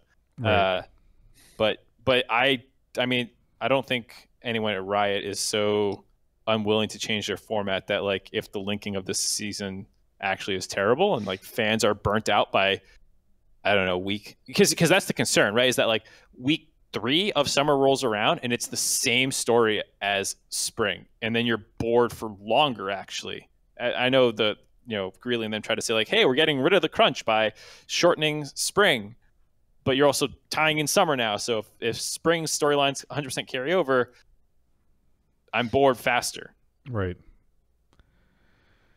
Hmm. I don't know. This is a this is an interesting situation. I, I'm actually not sure. I Monk, I don't know if you have additional stuff you want to throw away in on. Yeah, I also I also just feel like if you say like uh, the two teams that won't make it into the playoffs of the turn the early turn the lock-in tournament, they will also have kind of an advantage in the sense that they get more preparation time and they can look more into their opponents and scout them more because they will get out of that tournament faster so they will have more off season to prepare so in that sense i think it will make the league a little bit more competitive also because of two teams going out early and having more prep time Is there is that Oh. the secret to the lock-in tournament? Is to just to throw? If you don't think if you don't care about the money, just throw so you can get out and scout. that could be a thing yeah it was funny when you said that because that's where my mind went right away. You were like, "Oh, the bad teams will lose; they can get back to practicing faster." But in my head, I was like, "Yeah, let's just int out of this tournament." Hmm. This Uh, actually makes I- me kind of worried. I mean, I don't think any of the LCS teams would necessarily do that, but like, it, it there is a bit of a perverse incentive there.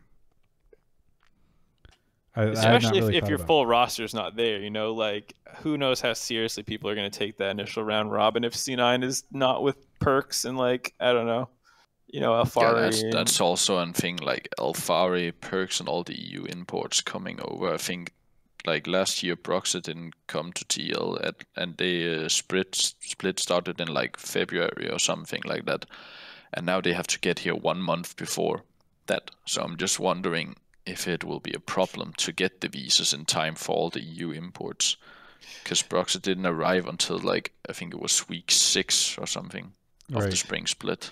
His his was definitely a unique situation that you know would be a problem at any point. Um, in terms of where this is starting, like they said, you're taking three weeks out of spring and devoting it to this tournament, so it's it's not technically starting earlier, though on a calendar date it is. Um, I don't know. I, I hope. I mean, the, the visa issues that we always run. There's always some visa issues at the start of this at the split. So I, I think we'll we'll inevitably see some. I just hope it's not any of the the big big names. Yeah. Well, I I guess we'll see. Uh, Monk, is there anything you want to shout out before we move on to our final set of callers? Uh, I want to shout out you guys for having a great show that was able to keep me awake until 7 a.m. And I want to shout out uh, TL for being the best org in LCS. Why why are you st- why did you stay up this late anyway? Because LCS is king, am I right? NA greater than EU. What, who are you? I I love the sh- the shill. You know what our demographic is. I Like, I'm a big fan. I, f- I feel like an American, even though I'm from EU. I- NA over EU any day of the week. Love to hear it. Uh, I love to hear it. It's also funny watching Twitch chat just try and compare you to other pros. It's like, oh, it's Broxa, it's Santorin, it's Wicked. You know, like Yeah. there's all these I people. mean, I, you- I, I'll, I'll take that. That's a compliment. That that's a compliment. Yeah, very good. Well, hey, thanks so much, the monk. I uh, I appreciate your call, and uh, we'll catch you next time. Get some sleep. I will do. all right. He's like our second Danish guy, I think. Um, he's not the only Danish guy I think that stays up. Why, why can't I remember the name of our other Danish caller? Or is he There's Swedish? couple viewers that we, we have. There's another Nordic person. Uh, thank you to Longhorn979, Sapumis for the Prime, and Kyle0808 for gifting the sub to Captain Flowers. I am I am All right. starving for subs. Okay, here we go. So I have an idea on how to structure it, and I want to bounce it off you, Travis. I'm thinking that we can have this a little bit like a debate where people kind of give their opening arguments for why they're they they think that their team is going to win uh, Okay. or why they're going to be right, and then they can maybe Start go back and forth a little bit more and forth with uh, with us. Uh, Okay. you know, So first off, let, let's do some intros. So first off, JNT, JNT, where are you calling from? Uh, San Antonio, Texas. San Antonio, Texas. And returning to the show in in the corner, uh, we have Mahmoud. Mahmoud, where are you calling from? Uh, yes, this time I'm calling from USA. Oh, Oh. Uh, wait, is that true? Yes, yes, uh, Arizona, Arizona. Where in Arizona? Uh, Phoenix area, Phoenix. It Can I- uh, yeah, yeah. Can, am I allowed to ask why how you ended up in Yeah, Arizona? yeah, of course, of course, I can go. So, uh, my mother, she has work here, and you know, we have family here. So, uh, you know, we're living with family, and uh, you know, I- also have, uh, am going to be going to university here. So, Oh, cool. Yeah, yeah. So we are probably going to be staying for a long time. And you know, the reason we were in Iraq was because you know, uh, I think every human knows this. Like, there is no other place than better than home, right? Yes. So you know, we we love uh, Iraq and we love the place, even though maybe it's not as good as USA or uh, or EU countries, but uh, it is still still home for us, right? So. Very good. Well, uh, that's a that's a touching sentiment to begin the, the conversation. So, uh, Mark has told me that both of you have uh, a team that you think is going to win the lock-in tournament, and I'm excited to sort of hear which team and why. So, why don't we start with you, JNT? What which team is going to win the lock-in tournament and why? So I have TL winning it, uh, mainly due to their continuity, sort of in their play style and their roster. I'm sort of of the opinion that uh, Santorin is somewhat uh, comparable to Broxa and Xmithy in terms of like their overall play style, and I think just that Santorin brings the best of both worlds when it comes to Broxa and Xmithy. Um, similar to top lane, I think Alphari is just a better version of Impact in that he is a great carry player and also a great tank weak side player. Whereas um, teams like C9, TSM, and FlyQuest, teams who have you know switched a lot up with their roster and then are most likely going to be switching up a lot with their play style, might be slow to come out of the gate in the tournament. Pretty good. Okay. Uh, so you've got TL, and you think it's based off of consistency. Mahmoud, who is going to win the lock-in uh, for you, and why? Well, you know, I have given a call about uh, Barks already, uh, so you know who I'm backing. It's going to be C9. Uh, and mine is a bit longer than uh, my friend here. Uh, so basically, uh, the coaching staff for uh, for C9 is loads. They are definitely the leaders in in NA. Uh, they have all their all their coaches are high level players in solo queue, uh, and this is something that is unheard of in league. Uh, usually, coaches right now they have been. Uh, you know, not high level. They don't have game knowledge. They are more like facilitators.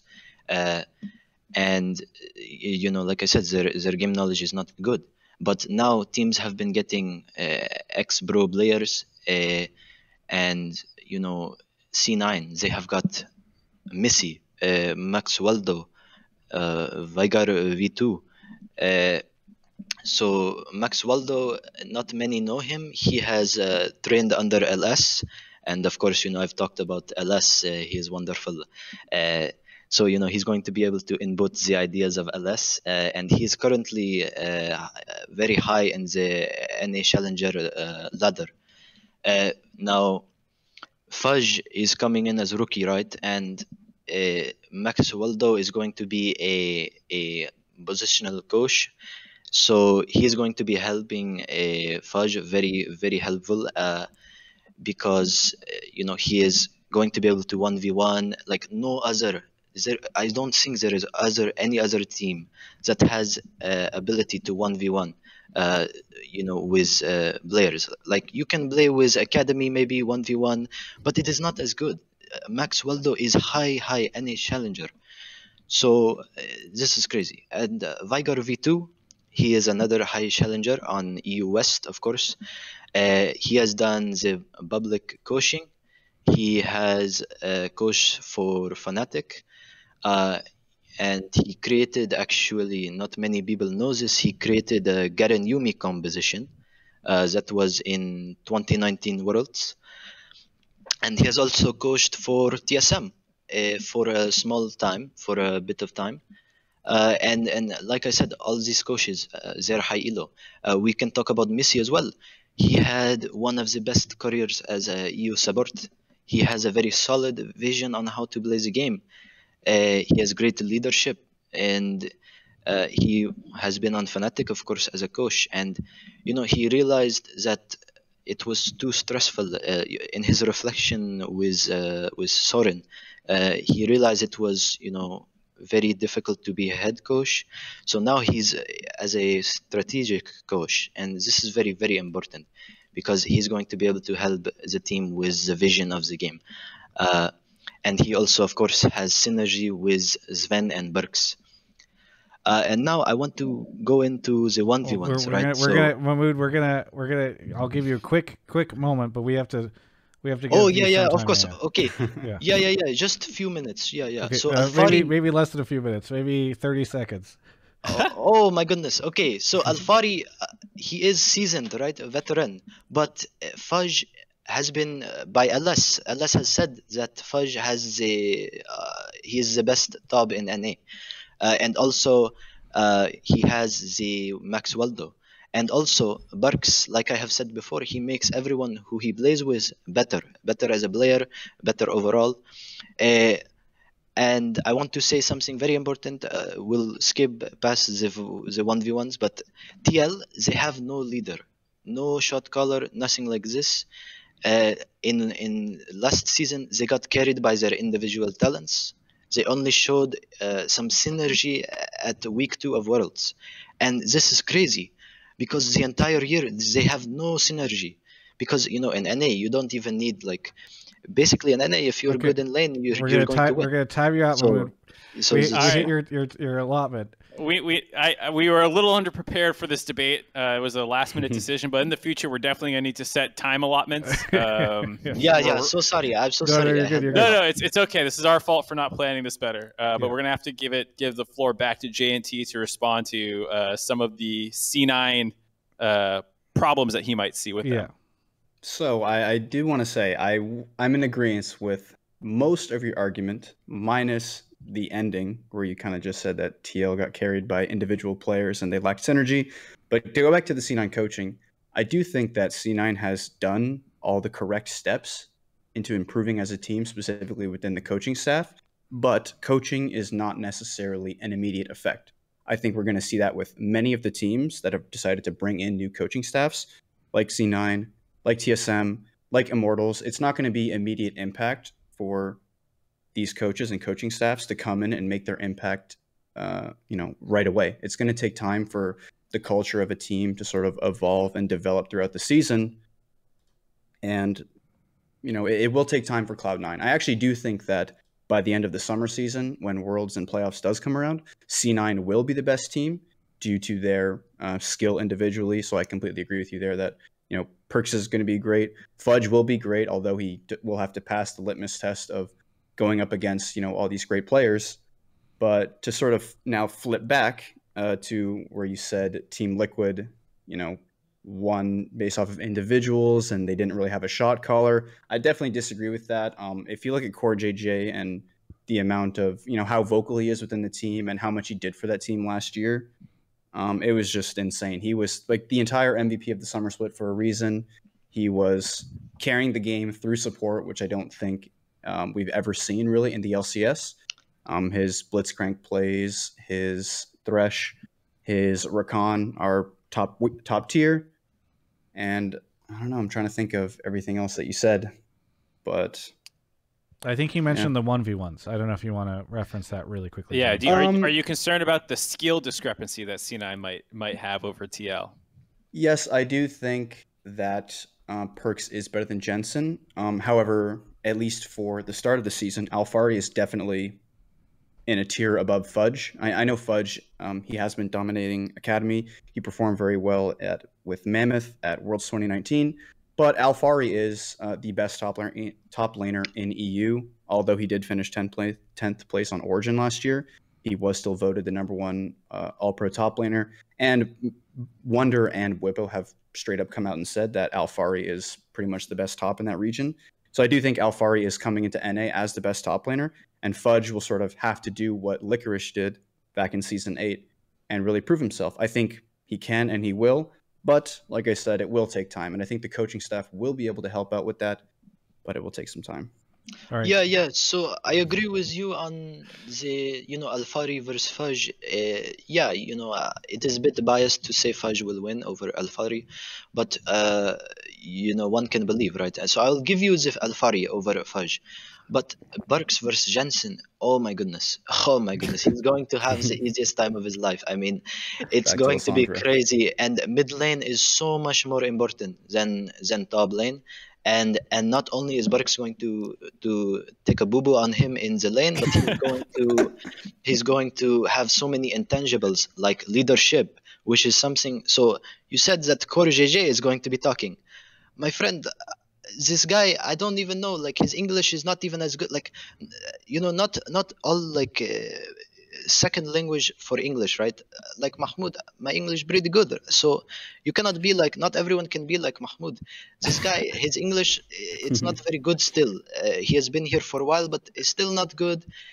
And he is not the the leader type. He is a very individual player. He does not have a voice on the team. So you saying he is leadership? Uh, no, I don't think. This is I guess.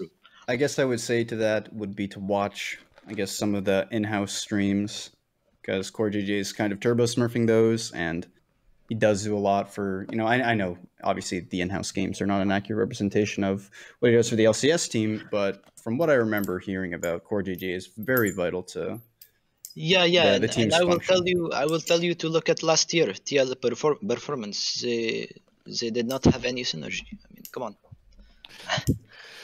Uh, I don't know, Travis. It sounds like the debate is, winding think, down. Yeah, How do you yeah, I feel think we should have closing arguments.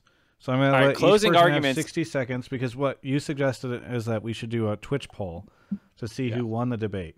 So I think we give each person 60 seconds to make their closing argument to the Twitch chat to uh, to for for who they should vote for as the winner in this. So we'll start with uh, Mahmoud. Uh, you've got 60 seconds on the clock starting now. Okay, uh, Max Waldo, Veigar V2, Mithy, these are coaches for uh, for uh, for uh, C9. Who is the coach for TL? Oh my God, is Jatt. This guy was playing in season two, man. What? I don't understand. Okay, not even uh, comparable. Uh, Alphari versus Fudge, I will give to you. Blaber versus Santorin. Blaber, if he is on the form, if he is on his form, he is much better jungler and he has Perkz to work with. with. Uh, and and Zven versus Tactical. We did not even talk about that. Zven is uh, the best bot laner last year, and he is uh, crazy, crazy guy. And he has Perkz with him. He has Mithy with him. Uh, CoreJJ versus Vulcan. Yeah, CoreJJ is better, but Vulcan does not have to. Uh, he only has to mash up with him in mechanics, and he does not have to be like shot caller like CoreJJ. CoreJJ does need to be shot caller, but he is not. Uh, and uh, yeah, this is, this is what it is. Okay, that was exactly 60 seconds. Good job. Uh, Perfect JNT, timing. Nice. Your turn. Starting Um, now. Uh, so on, the topic of C9, I do think they're very good. I think by the end of the season, they will be the best team. I believe they do have some of the better individual players compared to Team Liquid. However, it's not so. Uh, it's not as simple as just simple addition. Like a player, a player has a certain value. Just because they are of a total value doesn't mean that the overall team will perform at that said level. I think Team Liquid they're coming into the season with, you know, like I said, much more continuity in terms of how their team functions.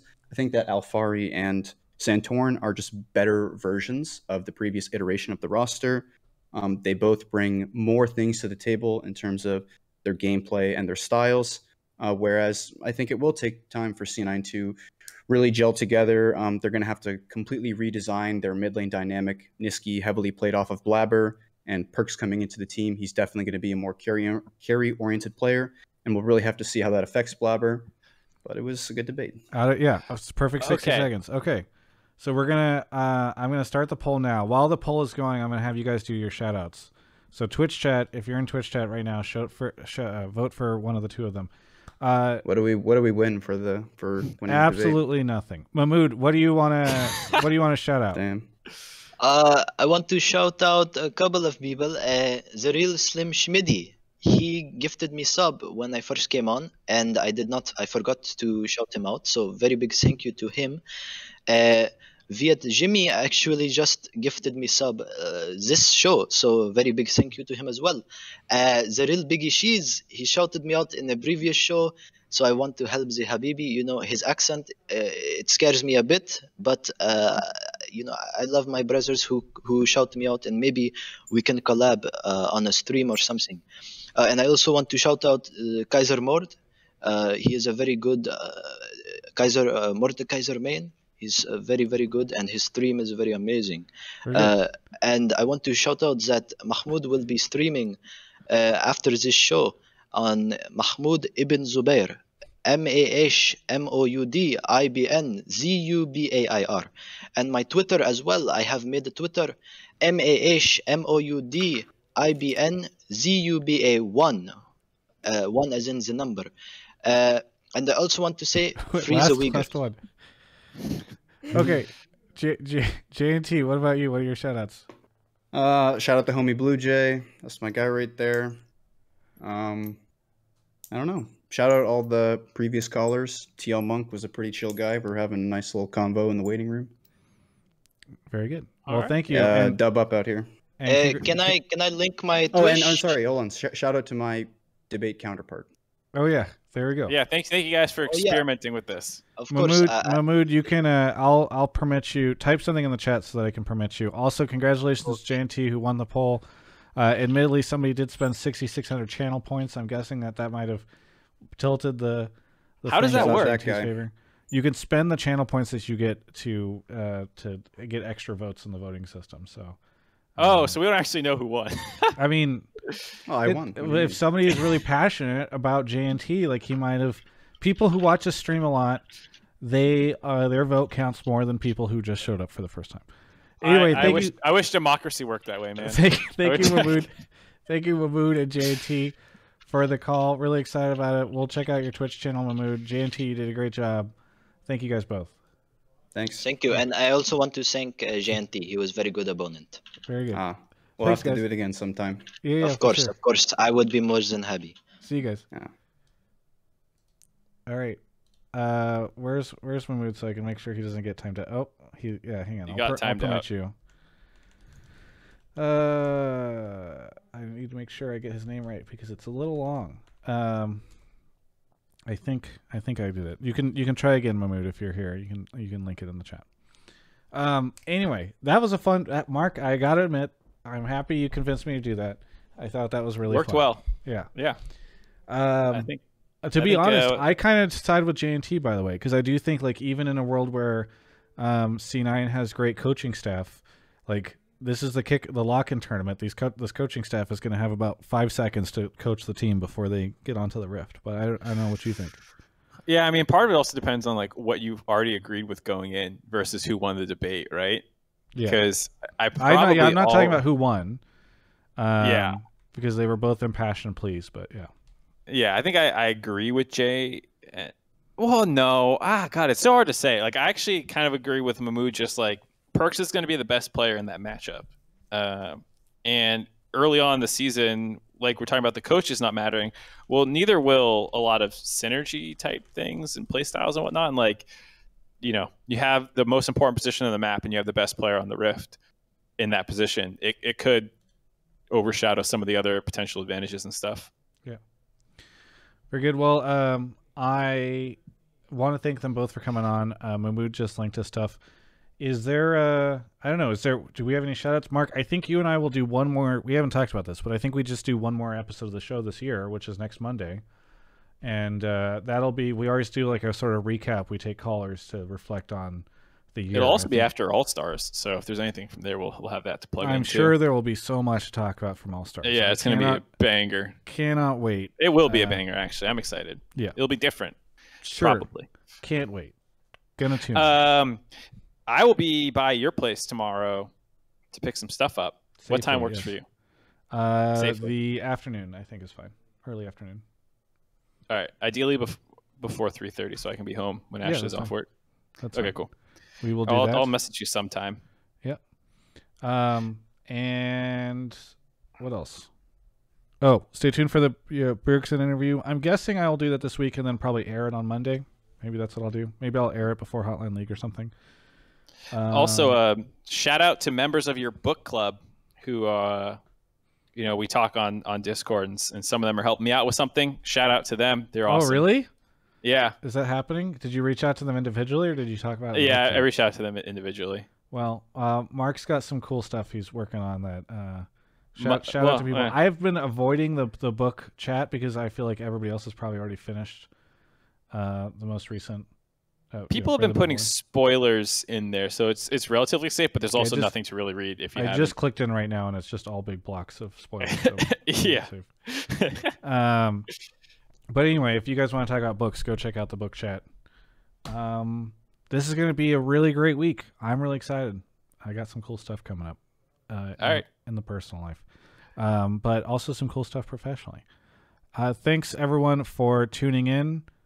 Feels like there's something I'm forgetting. Oh, thank you to Greeley and Hunter as well for coming on. That was really fun. It was cool to have them both on. So oh yeah, that too. I forgot that even happened. yeah. Yeah, they're very, very forgettable people. Uh, this has been Hotline League episode, what, 154? I think 154. This has been Hotline League episode 154.